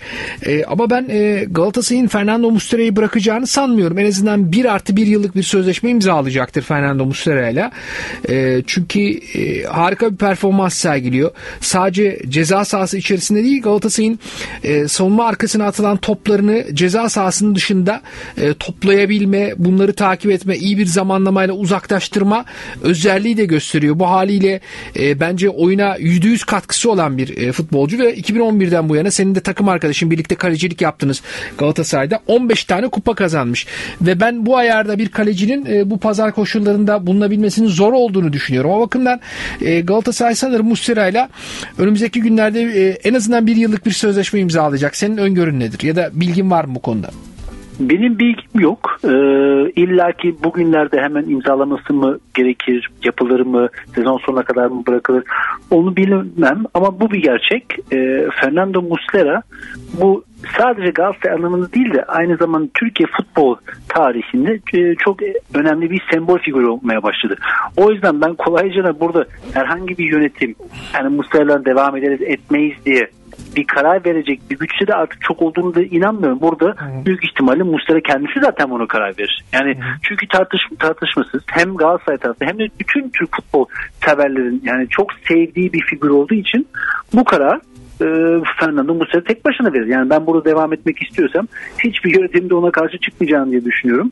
E, biliyorsun sezon sonu e, hem Galatasaray'da hem Fenerbahçe'de aslında e, seçimler olacak. E, o da enteresan bir sene, sezon sonu nasıl etkiler bilmiyorum Doğru ama e, ama ben burada çok fazla yani yönetim kalır, değişir, neler olur e, o onları tabii hiç kimse bilmez ama hiç, hiçbir yönetim Muslera'dan devam etmemek gibi isteğiyle büyük ihtimalle ortaya çıkmaz. O yüzden tekrar söylüyorum bu karar bir tek Muslera'nın elinde. Eğer Muslera diyorsa ki ben bir sene daha burada özellikle şampiyon olduktan sonra tekrar bir Şampiyonlar Ligi'nde oynama fırsatıyla beraber burada devam etmek istiyorsam herkes e, seve seve evet der diye büyük ihtimalle düşünüyorum. Sevgili Aykut Erçetin bizimle birlikte Hakim Ziyech İstanbul'a geldi. Hakim Ziyech'in takımdan ayrılma, Arap takımı Al Saab'a gitme ihtimali nedir sence? E, Tete ile ilgili bir ayrılık bekliyor musun? Zaten hatırlarsanız yaklaşık e, aralığın başından beri e, iki oyuncuyla ilgili sürekli iddialar ortaya atılıyor. Yani e, bir yandan işte Hakim Ziyech zaten Körfez aralarından sürekli bir istek, bir arzu, bir talep olması, bir ilgi olmasından bahsediliyor. Bir de Tete sanki sezon başından beri tam istediği verimi alamayan bir oyuncu olduğunu diye adlandırıyor ama diğer tarafta bakıldığında eğer siz bedava alınan bir futbolcu e, devre arasında 6 ay oynamamasına rağmen konuşan rakamlar 7 milyon hatta çift tane 10 milyon euro gibi bir bonservisi satma ihtimaliniz varsa biz şunu gördük. Galatasaray bu tarz şeyleri aslında daha açık olan bir kulüp olmaya başladı. Hı. Hatırlarsan biz bunu defalarca Türkiye'de konuştuk. Çok büyük e, oyuncular geldi geçti. Yönetimler büyük tekliflere hayır dediler. Ve nitekim hangi rakamlara en sonunda gittiklerini en güzel örnek Trabzonspor'da Abdülkadir Ömür'dür. Hı hı. Yani zamanında Ahmet Ağoğlu kendisi de açıktı. 20 küsür milyon yapılan teklifi reddederek bugün 2,5 milyon euro artı 2,5 milyon bonusa bu oyuncu gitti. Yani Doğru. satmak da çok önemli bir faktör. Yani eğer Galatasaray gerçekten bonservis elinde alınan bir futbolcu yani bedava free agent olarak alabileceği aldığı bir oyuncu 6 ay içerisinde oynamamasına rağmen 7 ya da 10 milyona satma ihtimali bulunduruyorsa ve biz gördük ki ilk 11 futbolcusunu Taşa Boye ve de e, tek yedek forveti Bakan Boyu bile satmaya göze alabilen bir Galatasaray yönetiminden bahsediyoruz. Hı. Bir ihtimallerin içerisinde aslında olabilir Tete gitmesi. Anladım. Sence e, Brezilya takımlarından 7-8 milyon euroluk e, teklifler gelir mi Tete için? Ya Brezilya takımlarında bu paralar var mı sence? Ee, onu tabii ki veremiyoruz. Çünkü niye? Ee, Brezilya pazarı biraz daha farklı bir pazar. Yani Hı. normalde third partner ownership'ten hep bahsediliyor. Yani siz normalde bir oyuncunun bir e, hissedarı olamazsınız ama Hı. Brezilya'da zaman zaman biz bunu bir sponsorla e, farklı yöntemlerle aslında oyuncunun bonservisini bir pay sahibi olan şirketler ve sonraki satıştan para kazanmaya çalışan bir investment şirketlerden bahsediliyor. Belki bu sebepten. Çünkü bakıldığında aslında TET'in yaşı da çok genç. Yani e, hala da bir iki sene iyi oynadıktan sonra çok daha yüksek bir, bir rakamlara satma ihtimali e, olabilir diye bir futbolcu olduğu için belki böyle bir teklif yurt dışından gelebilir. Anladım. E, bu arada bir fırsat orta saha transferinden bahsediliyor ama bunun bir şartı var. Bence kadrodan e, en azından bir yabancı oyuncunun çıkmasına e, bağlı.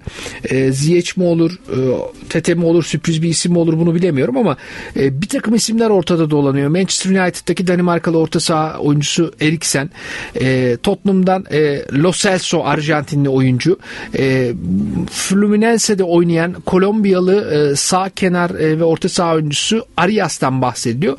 Sen bu isimlerle ilgili herhangi bir şey duydun mu? Senin kulağına bir şey geldi mi sevgili Aykut? Benim kulağıma çok fazla geldiği bir şey e, yok ama önemli olan daha farklı bir faktör var. E, Galatasaray şu anda benim e, doğru saydıysam eğer bir tane yabancı mevkisinde e, zaten bir yeri var. Çünkü Hı. Angelino gitti, Bakambo gitti.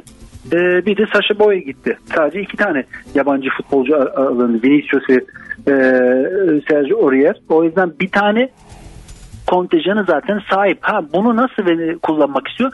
Biraz transfer döneminde dikkat ettiğimizi özellikle Galatasaray'ın Ocak ayında yaptığı transferlerde daha uygun şartlarda uygun maliyetler karşılığında. Doğru yani minimum maliyetlerle. Minimum maliyet çok güzel özetledin. Yani minimum maliyet. Şimdi bakıldığında 30 e, artı 5 milyon e, kasaya giriyor ama bunu da dinleyici öğrenmesi gerekiyor. Bu tarz paralar da çok da bir hesaba yatmıyor. Bunlar e, taksit halinde koskoca Bayern Münih olsa da bile ya da e, X bir kulüp olsa da bile İngiliz kulüpler de dahil hepsi bunu taksit taksit e, senelere yayarak bu paraları ödüyorlar. Yani o yüzden Galatasaray'ın cebine hemen şuk diye böyle bir büyük bir meblağ girmedi ama e, az da girse çok da girse Galatasaray çok daha dikkatli artık hareket ediyor. Hı hı. Sadece 100 bin euro karşılığına tabi kaldı. Sadece 600 bin e, euro karşılığına forvet aldı. Ben o yüzden yani evet bir fırsat transferi e, oluşursa şansını dener mi dener ama gerçekten çok büyük bir fırsat olması lazım. Yani atıyorum bu futbolcu normalde afaki konuşuyorum 10 değeri ise yani şu anda bütün pazarlar kapalı olduğu, kapalı olduğu için de bu oyuncu mutlaka ve illaki gitmek istediği için 3'e 4'e eğer düşerse o zaman Galatasaray bu tarz bir transfer yapar diye düşünüyorum. Çünkü bakıldığında gerçekten parayı biraz sık tutuyor. Ee, seçim de e, var e, yazın biliyorsun. Mali tablolar da artık çok önemli. Sadece sportif başarılar değil. O yüzden gerçekten fırsat bir transfer. Çok değerin altında çıkabilecek bir futbolcuyla e, karşı karşıya gelirse Galatasaray orada bu kontenjanı kullanır diye düşünüyorum. Sevgili Aykut biliyorsun 2 Şubat yani Cuma günü UEFA için listelerin verilmesi adına son gündü. E, iki transferini e, yani Oreo Sabek ve Santfor Vinicius transferlerini tescil etti Galatasaray ve UEFA'ya isimlerini bildirdi. Listeye yazdı. E, şimdi bir sol bekten bahsediliyor. Sol bek alınsa bile bu futbolcu Avrupa Ligi maçlarında oynayamayacak. E, sence alınır mı gerekti mi bu aşamada sol bek? Zaten e, benim bildiğim kadar her e, yeni dönemde e, ilave olarak kış transferde 3 tane oyuncu galiba yazılabiliyor e, UEFA listesine. Burada bakıldığında Sabek Sergio oraya yazıldı. Forvet Vinicius yaz- yazıldı ve onu çoğu insan unutuyor. Geri dönemde Berkan da aslında Evet. yazıldı. Yani 3 tane oyuncu. Eğer eğer doğru hatırlıyorsam kontenjan içsi zaten 3 oyuncunun hakkını kullanıldı. Bu da ne anlamına geliyor? Yani Okan Hoca burada bir sinyal veriyor. Yani ben Berkan'ı da listeye yazıyorum. Geri döndü. Çünkü sol bekte de onu kullanabilirim. Hem Kaan var hem Barış var hem Berkan var. Hepsi belki %100 ideali oyuncuları değil. Yani o mevkinin oyuncusu açıkçası değil. Ama bir türlü ben bunlarla idare ederim diye bir sinyali verdi. Ha bu saatten sonra hala da sol bek transfer yapılır mı? Biraz önce neden bahsettik? çok cüzi rakamlara transfer yapmaya çalışan bir Galatasaray'dan bahsettik. O yüzden yani eğer ayın ikisine çok ihtiyaç e, sezon başından beri Angelino gelmesine rağmen bağırmasına rağmen sol bek ihtiyacımız var diye o transfer eğer yapılmadıysa o yüzden ben bu saatten sonra 4-5 milyon euroya bir sol bek transfer yapılacağını e, çok fazla düşünmüyorum, inanmıyorum. O yüzden yazılan isimler yani çok biliyorsun 4-5-6 tane isim şu anda yazılıyor. Ancak aynı şartların altında 100 bin, 200 bin, belki maksimum 500-600 bin euro değerinde birler e, ortaya çıkarsa o zaman değerlendirilir diye düşünüyorum. Onun dışında biraz zor gibi geliyor bana. Yani bunu da kolay kolay nereden bulunur? Çok aslında yerli taraftan olduğunu diye açıklamıştı Okan Hoca ama e, ben kolay kolay örnek Karagümrük e, sol bekini Levent bu fiyatı ver- vereceğini ya da de e, e, bu fiyatı vereceğini açıkçası ben çok fazla inanmıyorum. Tabii geldiğinde doğrudan oynayamayabilir ama önemli bir oyuncu. Geleceğe yönelik önemli bir yatırım sayılabilir. Berkay Yılmaz'dan bahsediyorum. Freiburg'daki oyuncu. Ee, bu transfer belki olabilir Galatasaray adına. Ee, çünkü o da adım adım e, takıma monte edilmesi gereken bir oyuncu. Geldiğinde banka oynayamaz. Freiburg e, 19 takımında U19 takımında başladı. 3. ligdeki ikinci takımına gitti. Başarılı oldu. Ki A takım için de düşünüyorlarmış ama oyuncu Galatasaray'a gelmek istiyor. Belki böyle bir transfer olabilir. Ne dersin? Böyle tarz şeyler olabilir. Çünkü bakıldığında bir gerçeği de konuşmamız gerekiyor. Okan Hoca gerçekten takım öyle bir e, sağa sürüyor ki yani yeni oyuna girmiş yani burada Eyüp Aydınlar'dan bahsedebiliriz e, Efe e, Akman'dan e, Hamza Akmanlardan ve çok daha genç oyuncular e, ya da yaşlı oyunculardan bahsedebiliriz. Yani 15-20 dakika 30 dakika şans vermeye aslında deneyen bir teknik direktörden bahsetmemiz gerekiyor ve takım öyle bir hava yakaladı ki yani zaman zaman idare ediyor bu e, kadro genç oyuncu zaman zaman da genç oyuncular da parlama ihtimali oluyor. Ben o yüzden yani böyle bir transfer olma ihtimali olduğunu düşünüyorum. Peki. Sevgili Aykut Erçetin Galatasaray bölümümüzde konuğumuz fikirlerini sizlerle paylaştı. Aykut çok teşekkür ederim katıldığın için. Ben teşekkür ederim. İyi yayınlar Özgür. İyi çalışmalar kolay gelsin. Değerli dinleyiciler e, Brezilya'dan iki takım Bahia e, ve Palmeiras'ın Galatasaray'ın futbolcusu Tete için e, girişimde bulunduğundan bahsedildi ama ben e, sadece bir ilgi olduğunu düşünüyorum bu kulüpler için. E, Tete için Galatasaray'a gelen bir somut teklif yok. Brezilya basında bazı iddialar gündeme geldi. Bu iddialara göre Galatasaray Brezilya ekibi Fluminense'de forma giyen John Arias için teklif yaptı ancak bu teklif reddedildi. Haberde Galatasaray yönetiminin Türkiye'deki ara transfer dönemi kapanmadan Arias için yeniden Fluminense ile görüşeceği iddia edildi. Bu oyuncu ofansif özellikleri olan bir orta saha oyuncusu. Sağ kenar oynuyor. Kolombiyalı e, ve Fluminense takımının formasını giyiyor. E, ama ben Galatasaray'ın e, Brezilya basının iddiasının tersi bir biçimde bu konuyla da ilgili herhangi bir adım atmadığını fakat bir takım menajerlerinin bu menajerlerin bu e, futbolcunun ismini gündeme getirdiğini biliyorum.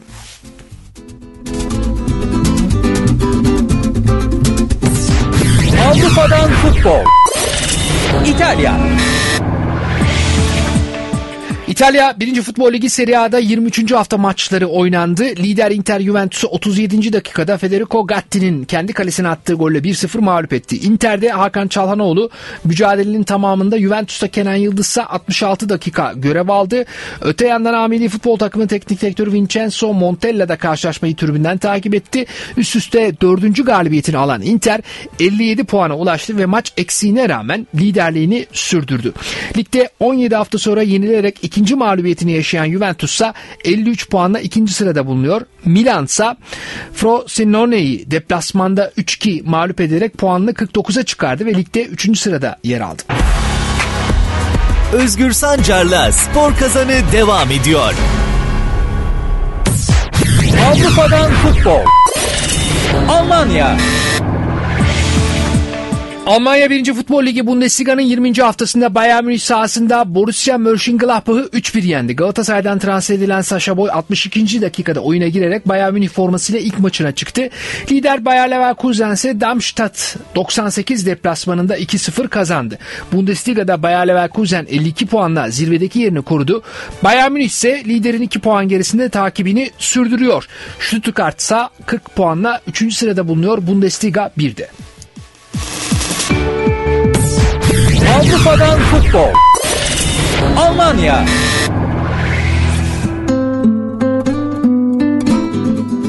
Değerli Nijer, geride bıraktığımız hafta sonunda Fenerbahçe'de Yüksek Divan Kurulu toplantısı vardı. Kulüp Başkanı Ali Koç burada bir açıklama yaptı ve Haziran'da yapılacak seçim için aday olmayacağını açıkladı. Futbol takımımızla başlayalım. Dün akşama kadar liderdik. Maç eksiğiyle, bir maç eksiğiyle ikinci sıradayız. Ve mücadele ettiğimiz her kulvarda futbol takımımız olarak iddialı bir inanç, kuvvetli bir takım ruhu, ciddiyet ve disiplinle yolumuza emin adımlarla yolumuzda ilerliyoruz. İki tane istatistik vereceğim. Az önce bahsettiğim aidiyet ve disipline çalışmanın karşılığının en net göstergesi olarak 23. hafta itibariyle 60 puanla kulüp tarihimizin en yüksek puanına ulaştığımız sezonunu şu an yaşıyoruz. 23-24 sezonunda Avrupa'nın 5 büyük ligi de dahil olmak üzere resmi maçlarda 100 gole ulaşan ilk takım olmuşuz. Bizden sonra şu an Bayer Leverkusen geliyor 85 golle. Bunun gibi pek çok daha istatistik var.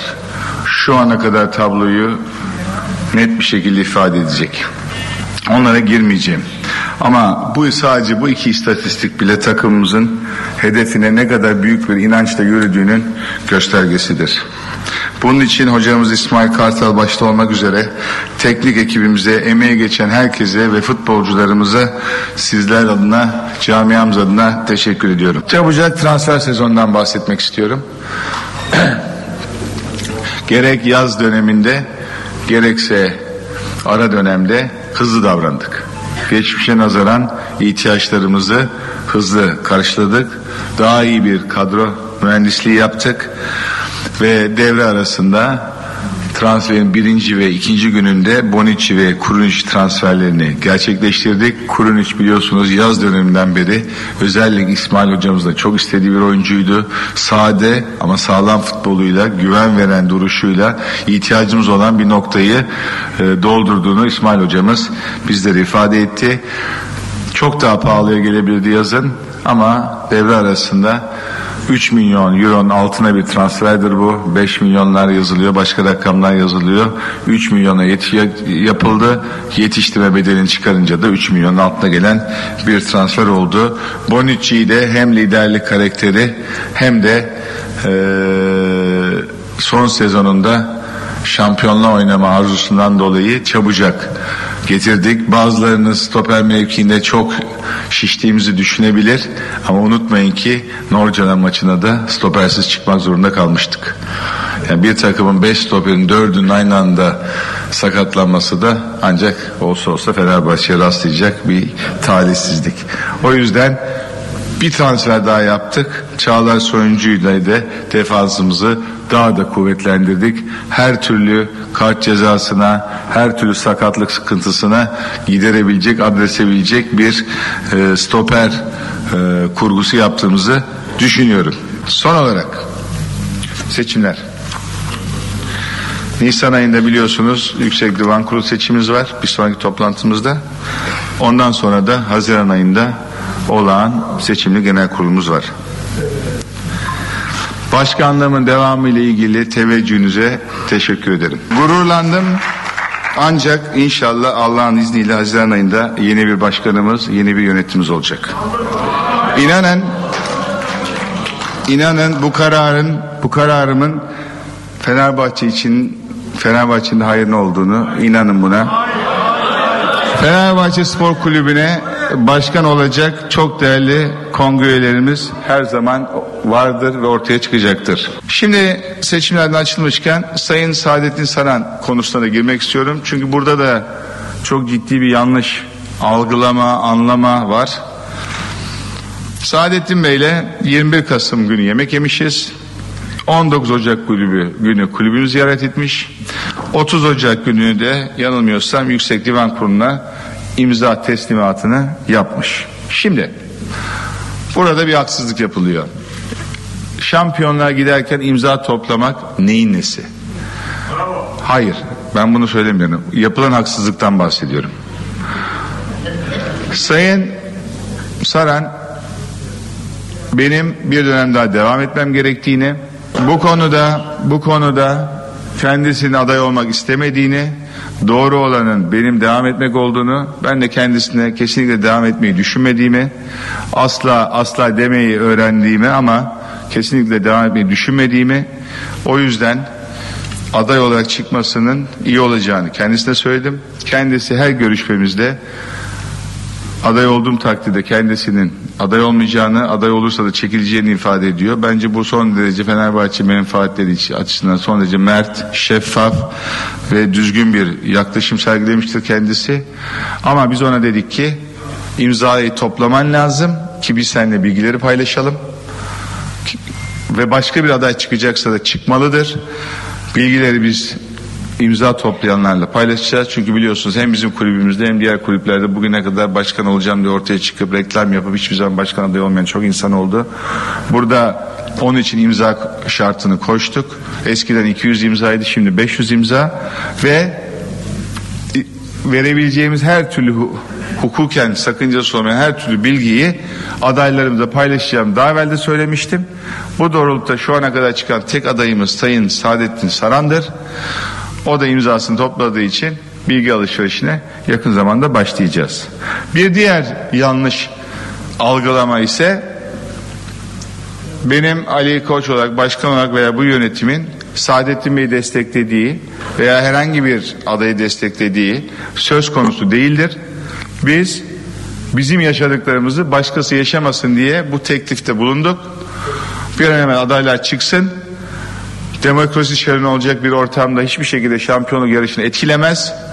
Çünkü burada en önemli konu Fenerbahçe'nin menfaatlidir.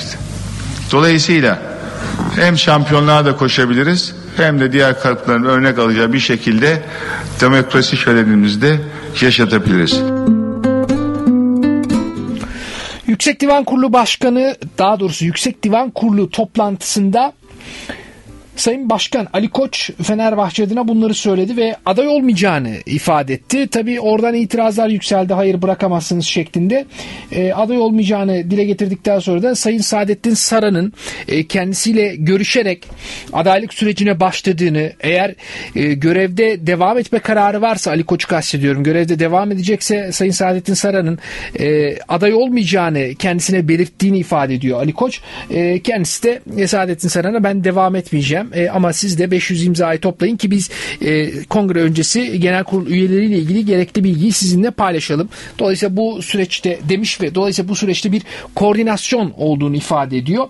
E, sözlerin son bölümünde de e, bu koordinasyonun e, son derece şeffaf bir e, çerçevede gerçekleştiğini, ilkeler çerçevesinde gerçekleştiğini ama e, bu meseleden dolayı e, herhangi bir adayı desteklemesi yönünde bir eğiliminin olmadığını, camiada böyle bir yanlış algılamanın da meydana geldiğini, bunu düzeltmek istediğini ifade ediyor Ali Koç. E, Sayın Rahmi Eyüpoğlu Fenerbahçe'nin etkin isimlerinden eski yönetim kurulu üyesi. Bakalım bu konuşmayı, alınan bu kararı nasıl değerlendirecek? Rahmi abi hoş geldiniz, merhaba. Hoş bulduk. E, tüm dinleyenlere ve sana iyi haftalar olsun. Sağ olun. Nasıl başladı hafta sizin için? Hafta bizim için e, keyifli başladı. Fakat e, tabii e, Adıyaman ve Kahramanmaraş depreminin e, yıl dönümüne yaklaştığımız için de e, hafif bir hüzün var içimizde. Doğru. E, ne diyorsunuz Sayın Başkan'ın aldığı bu kararla ilgili olarak? Mutlak bir karar mı sizce? Cumartesi günkü kararı e, ilk ipuçlarını veren e, Sayın Turan Şahin oldu konuşması sırasında. Böyle bir dedikodular duyuyoruz. İnşallah gerçek dedi.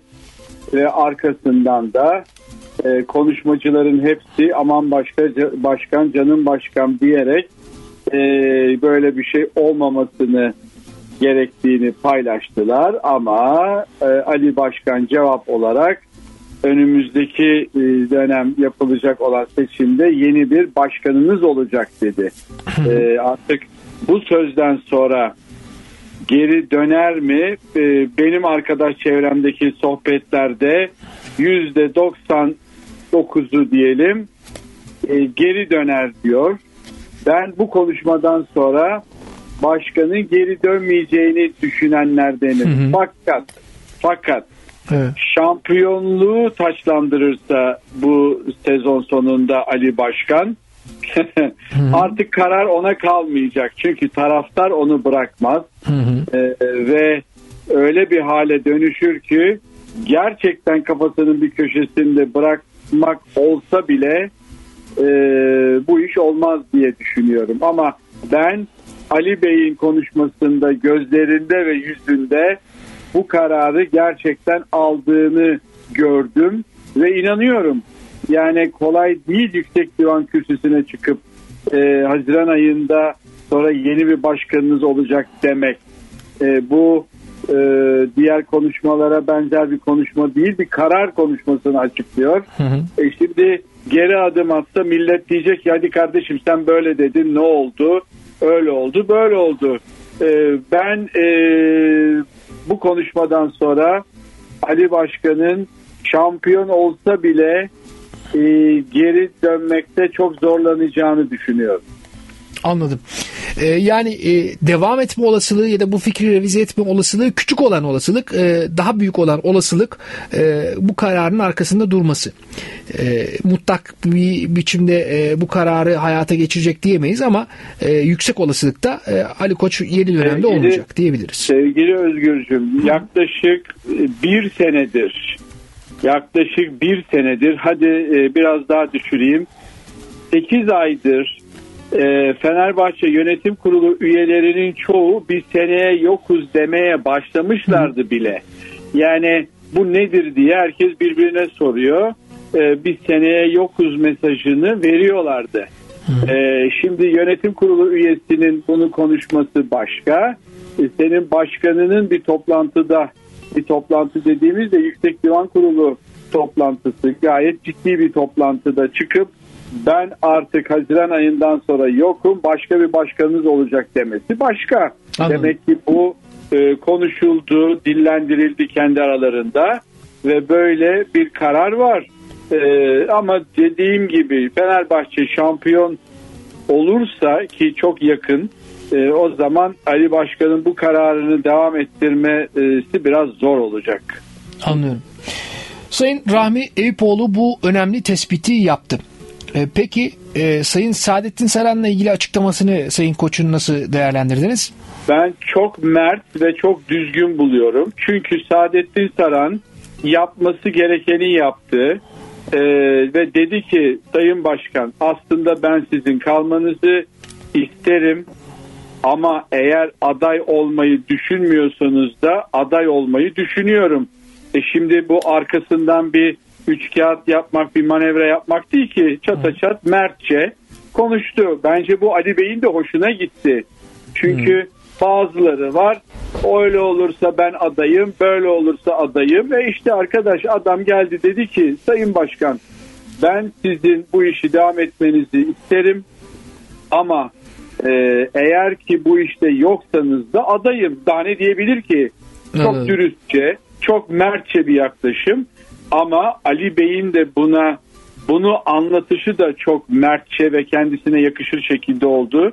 Çünkü Saadettin Bey'in imza topladığı dedikoduları dedikodu değil bu bir gerçekti de salonda bu konuyla ilgili ters tepki vermeyi bekleyen insanlar vardı. Ve Saadettin der demez salonda bir, bir oldu ve Sayın Başkan hepsini susturdu. Bir dakika dedi ya bir dinleyin dedi bir hikayeyi dinleyin. İmza toplamasını ben istedim dedi. Ee, benim arkamdan bir iş çeviren birisi değil dedi. Ee, çok düzgün bir şekilde çok kendisine yakışır bir şekilde durumu izah etti. O zaman herkes de sustu ve bence Saadettin Saran orada daha başkanlık yarışları başlamadan da birazcık öne geçti. Sempati gördü. Ee, niye? Doğru ve düzgün davrandığı için bundan sonrası diğer adaylara ve Saadettin'e kalmış. Ee, göreceğiz hep beraber göreceğiz. Belli ki hızlı bir Mayıs ayı ve e, Haziran yaşayacağız. Evet. Ee, seçim süreci son derece hareketli geçecek Fenerbahçe'de bu anlaşılıyor. Bu arada Yüksek Divan Kurulu Başkanı Uğur Dündar dedi ki Sayın Başkan'ın bu kararını yani bir dahaki seçimde olmayacağım kararını revize edeceğini düşünüyorum. Ee, işte Fenerbahçe başkansız kalmaz ama Fenerbahçe bir başka Ali Koç bulamaz dedi. Ee, bu Sayın Uğur Dündar'ın kişisel temennisinden ibaret mi Ee, yoksa e, bir gerçeklik temeli var e, ya da işte e, camiada çok güçlü bir biçimde böyle bir e, tazikin olacağına işaret eden bir açıklama mı? Şimdi bakın aynı açıklamayı neredeyse maçtan sonra İsmail Kartal da yaptı. Dilerim e, Sayın Başkan verdiği kararı düşünür ve bunun üstüne farklı bir yorum yapar gibilerden. Şimdi tam söyleyemeyeceğim ama e, verdiği kararı gözden geçirmeli dedi şimdi hatırladığım kadarıyla. Evet. Demek ki Yüksek Divan Kurulu Başkanı e, A futbol takımının baş antrenörü de aynı fikirde. E, ama Uğur Dündar'ın söylediği bir laf var çok doğru. E, Fenerbahçe Spor Kulübü başka bir başkan bulabilir ama başka bir Ali Koç bulamaz. Bu çok gerçek bir e, söz. Birazcık da acı bir söz aslında Fenerbahçe için. E, bir, ben ve arkadaşlarım bu sohbeti yaparken iki Ali Koç'un seçilmesi için çok koşturan birisiyim ben. E, Fenerbahçe Spor Kulübü birazcık Ali Koç'a öyle bağlandı ki yani e, Ali Koç Başkan'ın sadece para olarak değil fikir olarak yaptıklarıyla da kulübe hizmeti olduğunu düşünenlerdenim. Ama dışarıdan bir Ali Koç gerçeği var ve Ali Koç gerçeğini kimse bir Einstein fikri olarak görmüyor. Ali Koç gerçeği e, maddi gücü ve ailenin ülke içindeki gücünden geliyor ve o güçten Fenerbahçe'de bir şekilde e, bir şekilde nemalanır ve faydalanır diye düşünüyor. Ama ben Ali Koç Başkan'ın sadece maddi gücünün değil e, fikir olarak da gücünün e, etkili olmasını bekleyenlerdendim ki ilk dönemlerde bence bu konuda oldu en azından mali borç açısından. E, zor günler geçirdi. Çok ilginç tepkiler aldı. Çok sert tepkiler aldı. Yani bir ara maçta Ali Koç istifa demeden maç bitmiyordu hatırlarsınız. E, ve şimdi o günler değişti. Tecrübelendi. Takım 63 puanla e, lider durumda. E, çok büyük şanssızlıklar ve hatalar olmadıkça da şampiyonluğa en yakın adaylardan biri. E, e, şampiyon olursa Ali Koç Başkan'ın işi zor.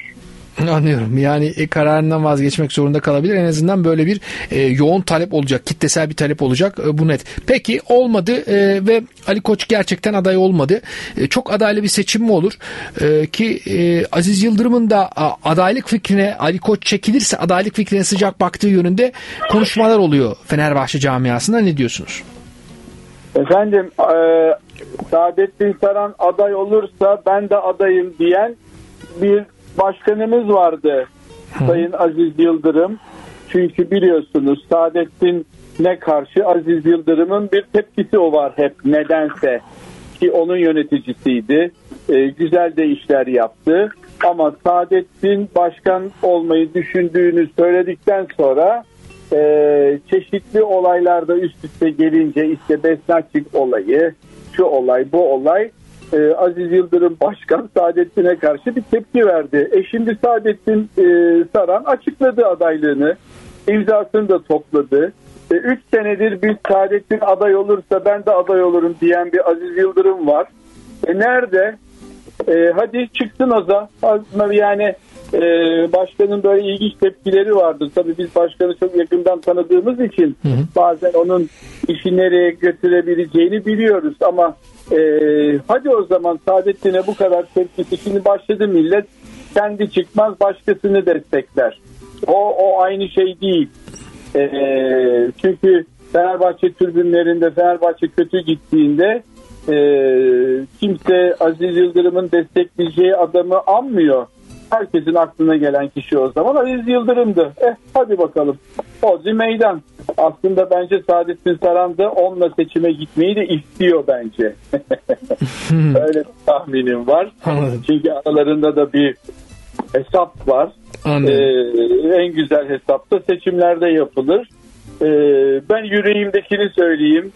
Ee, eğer Saadettin adaylığını açıkladı ve bir çalışma yaptığında gönlümün yüzde yüz gönlümce desteklerim. Arkadaşlarım kızıyor bana. ya bu adam şöyle yaptı. 3 Temmuz'da şöyle durdu, böyle durdu. Ben Saadettin'i tanıyorum. ee, çok da seviyorum. Yaptığı işleri de biliyorum. Özel hayatında ve iş hayatında. insani olarak çocuklara ve e, sporculara desteğini biliyorum. Fenerbahçe için de faydalı olabileceğine inanıyorum. Sadece yönetim kuruluyla daha ilgili daha net şeyleri duymam ve görmem lazım. O zaman e, Saadettin Saran'ın işi daha da iyi olur diye düşünüyorum. Sayın Rahmi Eyüpoğlu bu değerlendirmeyi yaptı Fenerbahçe bölümümüzde e, Sayın Ali Koç'un açıklamalarıyla ilgili olarak. Bu arada e, Sayın Ali Koç'tan e, bir açıklama geldi Galatasaray ile ilgili. Galatasaray camiasının riyakar olduğunu, yalancı olduğunu söyledi e, Ali Koç. Bunun üzerine de az önce Dursun Özbek bir açıklama yaptı ve e, bu açıklamaları tam anlamıyla bir bölücülük ve ailesinin e, itibarına yakışmayan açıklamalar. Ali Koç Kulüpler Birliği Vakfı'ndan e, istifa etmeli diyor Galatasaray Başkanı Dursun Özbek. Bu konuya ne diyeceksiniz? Ya şimdi e, Ali Başkan'ın Yüksek Divan Kurulu'nda söylediği sözleri hepimiz e, dinledik. E, Galatasaray'ın yaptığı e, bir açıklama var veya Galatasaray İş Adamları Derneği'nin mi e, başkanın konuşmasını duyduk demiyorlar. Öğrendik. Ya hepimiz biliyoruz ki Ali Başkan konuşunca hepiniz televizyondan seyrediyorsunuz ve takip ediyorsunuz. Hani sonradan duymuş gibi cevaplar, hamleler. Hı hı. E, Galatasaray ile ilgili samimi olsun artık insanlar. Ben bundan çok sıkıldım.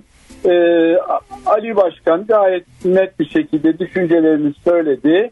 Şimdi e, Galatasaray Başkanımız da bununla ilgili bir cevap verme ihtiyacı duymuş. Tabii mecbur maalesef böyle bir kamuoyu var. İlla ki cevap vereceksin. Sen böyle diyeceksin. Bunu yapmazsa Dursun Bey'i e, başı dertte. Sen ne biçim başkansın? Fenerbahçe başkanı sana vuruyor. Sen cevap vermiyorsun. E işte verdi cevap. E, verdiği cevapta nereye gider? E, ne yapar? İşte şuradan istifa etsin. Böyle yapsın. E, keşke böyle rekabeti e, büyük olan kulüp başkanları daha samimi davranıbilse konuşabilse e, tabii Ali Başkan'ın söylemleri sert doğru kabul ediyorum e, ama e, Galatasaray tarafı buna benzer bir cevap vermezse e, o zaman camiası tarafından eleştirilecek. Halbuki bu işler daha yumuşak geçiştirilmeli. E, bu ne demek? E, Galatasaray stadında oynanacak derbi şimdiden böyle giderse bu kadar da yakın giderse çok olaya gebe şimdiden. Peki. Sayın Rahmi Eyüpoğlu Fenerbahçe'nin etkin isimlerinden eski yönetim kurulu üyesi fikirlerini sizlerle paylaştı. Çok teşekkür ederim Rahmi abi katıldığınız için. Ben teşekkür ediyorum danıştığınız için. İyi yayınlar olsun. İyi akşamlar. Özgür Sancar'la Spor Kazanı devam ediyor.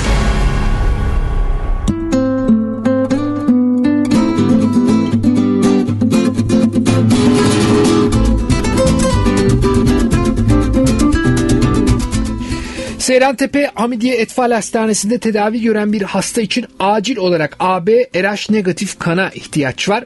Kan vermek isteyen dinleyicilerimiz 0532 610 50 51 numaralı telefonu arayabilirler. Bir kez daha hatırlatıyorum İstanbul'da özellikle de Avrupa yakasında e, Levent, Maslak, Mecidiyeköy, Gayrettepe yani e, Büyükdere e, istikametinde olan e, yurttaşlarımız dinleyicilerimiz için söylüyorum. Seyrantepe Hamidiye Şişli Etval Hastanesi'nde tedavi gören bir hasta için acil olarak AB RH negatif kana ihtiyaç var. Kan vermek isteyenler şu numarayı arayabilirler. 0532 610 50 51. Sevgili dinleyiciler az önce Ali Koç'un ve Dursun Özbey'in açıklamalarından bahsetmiştik. Cumartesi günü Kalamış'taki Fenerbahçe Faruk Ilgaz tesislerinde gerçekleştirilen Yüksek Divan Kurulu toplantısında Fenerbahçe Kulübü Başkanı Ali Koç e, Galatasaray camiasının utanması yok demişti ve şunları söylemişti. Biz hakikaten çok farklı bir camiayız. Herkes kendi camiasını en iyi bilir. Kendi camiasını över. Ben gerçeklerden hareket etmek istiyorum. Olağanüstü yeteneği sahipler, algı yaratma, manipüle etme yeteneğine sahipler. Bizimle ilgisi olmayan konularla ilgili basın toplantısı yapıyor yapıyorlar. Devamlı Fenerbahçe gündeme geliyor. 10 pozisyonda bir kez aleyhine karar çıksın. Ortalığın altını üstüne getirirler. Utanma, üzülme, riyakarlık hiç böyle şeyleri yok. Utanma refleksi olmayan bir camia. Fenerbahçe'de Hiçbir yönetici verdiği parayı geri bile istemez. Kulübün hisselerine haciz getirmez. Fenerbahçe'de bir yönetici verdiği para sonrası kulübün hisselerine haciz getirecek. Sonra başkan seçecek. Bu bizde olamaz. Maça bile gelemez diyor. Bunun üzerine Galatasaray Başkanı Dursun Özbek ne diyor? Fenerbahçe Başkanı Ali Koç'un Yüksek Divan Kurulu'nun Şubat ayı olan toplantısındaki açıklamalarına cevaben Özbek son divanı izlemedim. Ben e, fakat Fenerbahçe Kulübü Başkanı olacak zatın söyledikleri basına da yansıdı. Dolayısıyla tarafıma da geldi. Tabii hoş bir e, ifade tarzı değil. Bunu şöyle yorumluyorum ben. Fenerbahçe Başkanı olacak kişi Vehbi Koç'un torunu. Bu kişi aynı zamanda iyi bir eğitim almış. Koç ailesinin bir mensubu. Türkiye için Koç ailesi önemli bir aile. Yurt dışında ve yurt içinde iyi bir eğitim görmüş. Çok önemli eğitim almış. iyi bir iş hayatı var çok zengin bir aileye mensup. Peki böyle bir kişi niye Türk futboluna bölünmeyi, kutuplaşmayı ve birbirine düşman olmayı getirmeye çalışır? Türkiye'nin %75'i Galatasaray ve Fenerbahçe'den oluşuyor. Futbolla ilgilensin, ilgilenmesin veya takip etsin, etmesin. Bu bir gerçek. Bizim ağzımızdan çıkan kelimeler bu insanlara ulaşıyor, bu insanları etkiliyor. Bu insanların bizim ifadelerimizden beklentileri var. Peki niye böyle bir kutuplaşmayı Galatasaraylı veya Fenerbahçeli diye bölünmeyi ve birbirine düşman olmayı teşvik edici söylemler e, yapılır? Çok düşündüm. Bu manada daha önce de böyle düşünmüştüm bir ifadem vardı ve onun çok gerçekçi olduğunu düşünüyorum. Şimdi Türkiye bulunduğu coğrafi konum ve demografik yapısı itibariyle düşmanları tarafından bölünmeye, Türk-Kürt diye PKK vasıtasıyla ayrılık, ayrılıkçı kalkışmaya e, var e, ülkede. Alevi ve Sünni diye zaman zaman bunu kaşıyan düşmanlarımız var. FETÖ'cü olan veya olmayan diye 15 Temmuz'da kalkışma yaşadık.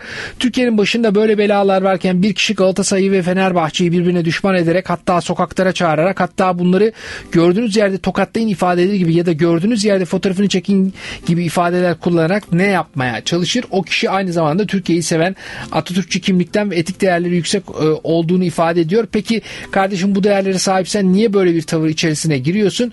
Başkanlığı e, kötüle, kulübü kötüle ve hiç ağzına alınmayacak şekilde ifadeler kullan. Galatasaray için e, benim aklıma iki şey geliyor. Birincisi Türkiye'yi çekemeyenlerin ve düşman olanların Türkiye'ye bölmek için çeşitli davranış biçimleri var. Acaba ben de diyorum böyle birisi meselesi e, bir proje midir? Türkiye niye PKK e, böyle bir Türkiye'yi ne PKK bölebilmiş ne FETÖ bölebilmiş yani kimse bölememiş. E, ve Galatasaraylı Fenerbahçeli'yi sokağa çağıramazsın birbirine düşüremezsin. Kulüpler Birliği Vakfı Başkanlığından istifa etmeli diyor. Dursun Özbey'in de böyle e, ayrıntılı açıklamaları var. E, bu konuyla ilgili olarak başka konularda da açıklama yapmış Galatasaray'ın başkanı. Örneğin transferler, örneğin Saşa Boy'un Bayern Münih'e gidişi e, ve tabii yapılabilecek transferler. Muslera ile bir sorunumuz yok ve Muslera ile yeni bir sözleşme yapacağız diyor. İnşallah Okan Hoca ile beraber 5. yıldızı takarız diyor. Türk futbolunda e, böylesine önemli transferler Saşa Boy transferini kastediyor. E, Saşa Boy transferleri daha da artar diyor. Ara transfer dönemi çok verimli geçen bir transfer sezonu değildir. Dolayısıyla biz minimum harcamayla bu süreci geçirmeyi e, uygun bulduk demiş Galatasaray'ın başkanı e, bugün yaptığı özel açıklamada. Sevgili dinleyiciler, sevgili Süleyman Oktay bizimle birlikte Beşiktaş'ı konuşacağız. Beşiktaş'taki son durumu. E, Süleyman abi hoş geldiniz yayınımıza merhaba. Hoş bulduk Özgürcüğüm. Merhaba, iyi yayınlar diliyorum. Herkese selamlar, e, dileklerimi iletiyorum Özgür. Selamlar. Nasıl gidiyor Beşiktaş'ta? İşler nasıl gidiyor sizce? E valla Beşiktaş'ta e, tabii ki sonuçsal anlamda işler iyi gitmiyordu. E, bayağı bir moralsizlik vardı ama diyeceksin ki e, bir maçta ne düzelir ne ne olabilir ki falan diyebilir insanlar ama bu maç hakikaten çok önemli bir e, durum arz ediyordu. E, yani eğer Beşiktaş bu kendi sahasında Trabzon'a da yenilmiş olsaydı e, tabii ki bu muhalefet e, ve memnunsuzluklar, moralsizlikler has safhaya gelecekti.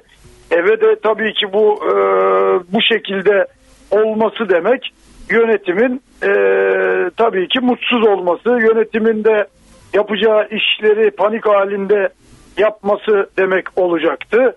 E, o bakımdan e, diyebiliriz ki yönetim bir nefes aldı e, ve e, ve avans aldı ama şimdi bana soracak olursan iki ay iki ayı dolmuş olan yönetimin bu kadar üstünde bir baskı olması e, o da yanlış. E, o da çok yanlış. Yani e, bunun belli bir süre beklemek lazım, sabretmek lazım ve de üstelik aldıkları yönetim, aldıkları kulüp hepimizin malumu. Bütün Beşiktaşlar biliyor. Zaten sağduyulu olan insanlar sabretmeyi, beklemeyi biliyor. Yani nereden koyuyor? Çünkü ellerinde ne kaldığını herkes biliyor ama e, hakikaten taraf olan e, ve de e, Ahmet e, e, Hasan Arat yönetimine karşı bir e, ters bakanlar bunu tabii ki kabullenmiyorlar çünkü ben bunu gözlemliyorum. İlk e, yönetimin ilk 15 gününden itibaren e, ciddi bir muhalefet yapmaya başladılar. Memnunsuz olmaya başladılar. E şimdi bile e, Özgürcüğüm baksana yani şu an bile bir transfer yapılıyor. Yok o transfer Nottingham Forest'ten e, adam alınır mı? İşte orada zaten az oynamış. Yani bu üst düzey zaten bir futbolcu değil. Ya kardeşim transfer alıyorsun başka türlü konuşuyor gene konuşuyorlar. Almıyorsun yine konuşuyorlar. Yani cidden bulunduğumuz futbol ortamı, futbol iklimi çok zor bir iklim. Yani ben diyorum ki e, bir, bir Beşiktaş'ın camianın bir mensubu olarak bu yönetimlere Allah kolaylık versin. Yani sırf Beşiktaş'ta değil Galatasaray'da da aynı. Fenerbahçe'de biraz daha az. Neden az? Ali Koç gibi bir markanın orada olması bazı şeyleri e, kapatabiliyor. E, e, onun kulübe verdikleri veya vermek istedikleri bazı şeyleri kapatabiliyor. Halbuki verdikleri derken de 11,5 milyar e, kulübün borcu açıklanıyor. Hı hı. Ama ona rağmen Ali Koç olmasından dolayı Koç ailesi tabii ki Türkiye'de hepimizce çok saygın bir aile. Çok emekleri geçmiş, çok üretmiş bir aile. E, ondan dolayı ama bakıyorsun Beşiktaş'ta Galatasaray ya Kerem e, şimdi ben biraz böyle konulara da giriyorum ama e, Özgürcüm kusura bakma. Ya Kerem Aktürkoğlu ben bakıyorum şapkadan tavşan çıkarıyor. Ee, yani oynadığı o ilk oynadığı maçtan itibaren Galatasaray'a müthiş faydaları var. Hala türbünlerden memnunsuzluk ve e, ters anlamda tezahüratlar yani olumsuz anlamda tezahüratlar. Ben cidden şaşırıyorum ve de e, Beşiktaş'ta da bu olanları gördü, gördükçe yönetimlerin işinin ne kadar zor olduğunu yani diyorum ki Allah yardım etsin bu yönetimlere. Çünkü öyle yapıyorsun memnun ol- olmuyor olmuyorlar. Böyle yapıyorsun memnun olmuyorlar. Mutsuzlar yani nasıl olacak? Cidden zor yani Özgür. Peki. Süleyman abi ağzınıza sağlık. Çok teşekkür ederim katıldığınız için. Bitti mi? Bitti mi? Evet. Programın sonuna geldik. Tamam. Tamam Özgürcüğüm. Peki. Teşekkür ederim. Tekrar görüşmek üzere. Sağ olun. İyi günler. Sağ ol. Sağ olun. Değerli Arda Güler özel bir görüşme yaptı. Kiminle? Real Madrid teknik direktörü Carlo Ancelotti ile. Real Madrid teknik direktörü Ancelotti. Atletico Madrid ile bir bir berabere kaldıkları maçta süre vermedi. Arda Güler'le özel bir görüşme yaptı. İtalyan teknik direktör genç futbolcuyla yaptığı görüşmede Brahim Diaz'ın da neredeyse hiç dakika bulamazken çalışkanlığı ve defansif özelliklerini geliştirmesi sayesinde forma bulmaya başladığını belirtti. Arda'ya Diaz'ı örnek alması gerektiğini söyledi. Ancelotti İspanyol basınının haberine göre Don Diario'da yer alan habere göre böyle bir görüşme yapılmış. Arda'nın e, önümüzdeki dönemde süre alabileceğini, e, çok daha fazla kendini geliştirebileceğini düşünüyorum. E, Arda bence Kenan Yıldız ve Semih Kılıçsoy e, önümüzdeki dönemde milli takımın değişmez oyuncuları olabilirler. Enes Ünal e, çok uzun bir sakatlık dönemi geçirdi. Hetafe'de harika işler yapmıştı. Biliyorsunuz kiralık olarak İngiltere'ye gitti. Birmingham forması giyecek.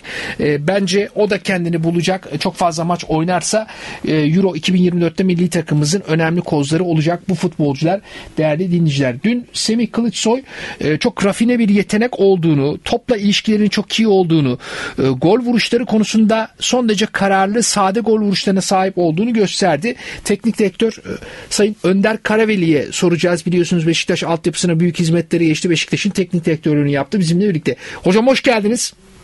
Merhaba Özgür, hoş buldum. Teşekkür ederim. İyisiniz umarım hocam. İyiyim. Ee, bir Beşiktaşlı olarak dünden sonra tabii biraz da keyfimiz yerinde. Ee, galibiyet e, mutlu etti. Semih Kılıçsoy tabii en iyi tanıyan isimlerin başında geliyorsunuz hocam. Ne dersiniz? Onda e, Avrupa'nın elit liglerinde birinci sınıf takımlarda oynayabilecek bir potansiyel görüyor musunuz? Ya Semih'le ilgili bunun cevabını vermeden önce ben hani geçmişle ilgili bir şey anlatayım. Ee, Semih ben U19 takım, takımda çalışırken e, 2003'lü ve 2004'lü oyuncularımız vardı. Semih e, 2005 doğumlu U17 takımdaydı. Onu biz Serdar Hoca ile beraber çalışıyorduk. Serdar Hoca da biliyorsun e, Serdar Toprak'ta bir hücum oyuncusuydu. E, buradan hakkını vermek istiyorum. Ondaki potansiyeli e, iyi görenlerden ve bana da çok ısrarlı bir şekilde hocam Semih'i de hani alalım kadromuza katalım demişti. Biz o dönemde Semih'i U19 takımımıza almıştık ve bazı maçlarda ona şans veriyorduk. O zaman şöyle bir şey düşünüyordum Semih'le ilgili Özgür. E, acaba yaşıtları arasında bu fiziksel e, üstünlüğüyle mi fark yaratıyor? Çünkü yani U17 ilginde çok fark yaratan bir oyuncuydu. E, keza biz U19 takımı aldığımızda da zaman zaman topu korumada, saklamada yanına hiç kimseyi yanaştırmıyordu. Yani vücudunu çok doğru kullanıyordu. Kalçasını, belini, sırtını, omuzlarını çok doğru kullanıyordu. E, böyle düşünüyordum. Ama şimdi e, sadece dünkü maçta değil daha önceki maçlarda da benzer e, bir fikre kapılmıştım ama dün biraz daha netleştirdim. O kuvvetini o kadar doğru ve o kadar zamanında yerinde kullanıyor ki e, şu anda Süper Lig'de de bununla fark yaratıyor ve bunu kullandığı oyuncular mesela dünkü gol pozisyonunda kullandığı oyuncular yani iki tane merkez orta saha oyuncusu ve kuvvetiyle de ön plana çıkan tipler yani Mendy ve Berat yani defansif orta saha oyuncusu bunlar. Bir de ya yanından gittiği stoperde yani Rayhan güçlü bir stoper. Ya onun yanından giderken temasla bozulmadan gitmek, sürdürmek, o golü atmak e, bütün bu zorlu koşullara rağmen bu golü atmak e, çok önemli bir iş. Tabii ki ilerleyen zamanlarda dün e, maçtan sonra e, Feyyaz Hoca'nın da açıkladığı gibi Semih'i herhalde tutmak artık çok kolay olmayacak. Olmayacak doğru. Hocam sizinle ilgili bir gelişme var mı? E, bir gelişme olabilir. Ben sana ne zaman bağlansam aynı şeyi söylüyorum. Ülke ve lig ayırt etmeksizin ben sahada olmak ve çalışmak istiyorum. Yani İran Ligi'nde de çalışırım, Türkiye 3. Ligi'nde de çalışırım, Avrupa'da da çalışırım. Nerede olursa olsun sahada olmak istiyorum.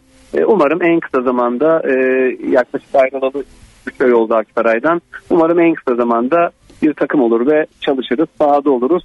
E, bu ülkenin bu değerli genç çocuklarının hayatlarına dokunmaya devam ederiz umarım. Umarım. Hocam ben daha uzun bir söyleşi gerçekleştirmek istiyorum. Bugün e, zamanında ulaşamadık size kusura bakmayın. E, yarın müsaitseniz e, hem e, ligi konuşalım genel itibariyle. Adana Demirspor e, bence üzerinde çok durulması gereken bir örnek haline geldi. Çok sayıda oyuncu gidiyor vesaire. E, genel itibariyle bir futbol söyleşisi yapalım. Bugün e, bize ayrılan sürenin sonuna geldik. Tamam Eğer tamam. olursanız Özür yarın çok Seve daha seve. detaylı bir konuşma yapalım. Hocam Evet, ağzınıza evet. sağlık. Hı, Çok buyurun. teşekkür ederim. Çok sağ ol. Hoşçakal. Tekrar görüşürüz. İyi akşamlar. Sevgili dinleyiciler Önder Karaveli bizimle birlikteydi. Bu arada Emrah'ın Gedikli Konya Spor'dan İstanbul Spor'a kiralık olarak geldi. Sezon sonuna kadar İstanbul'da İstanbul Spor forması giyecek Emrah'ın Gedikli. Bize ayrılan sürenin bugün de sonuna geldik. Hepinize iyi akşamlar dilerim. Özgür Sancar'la Spor Kazanı sona erdi.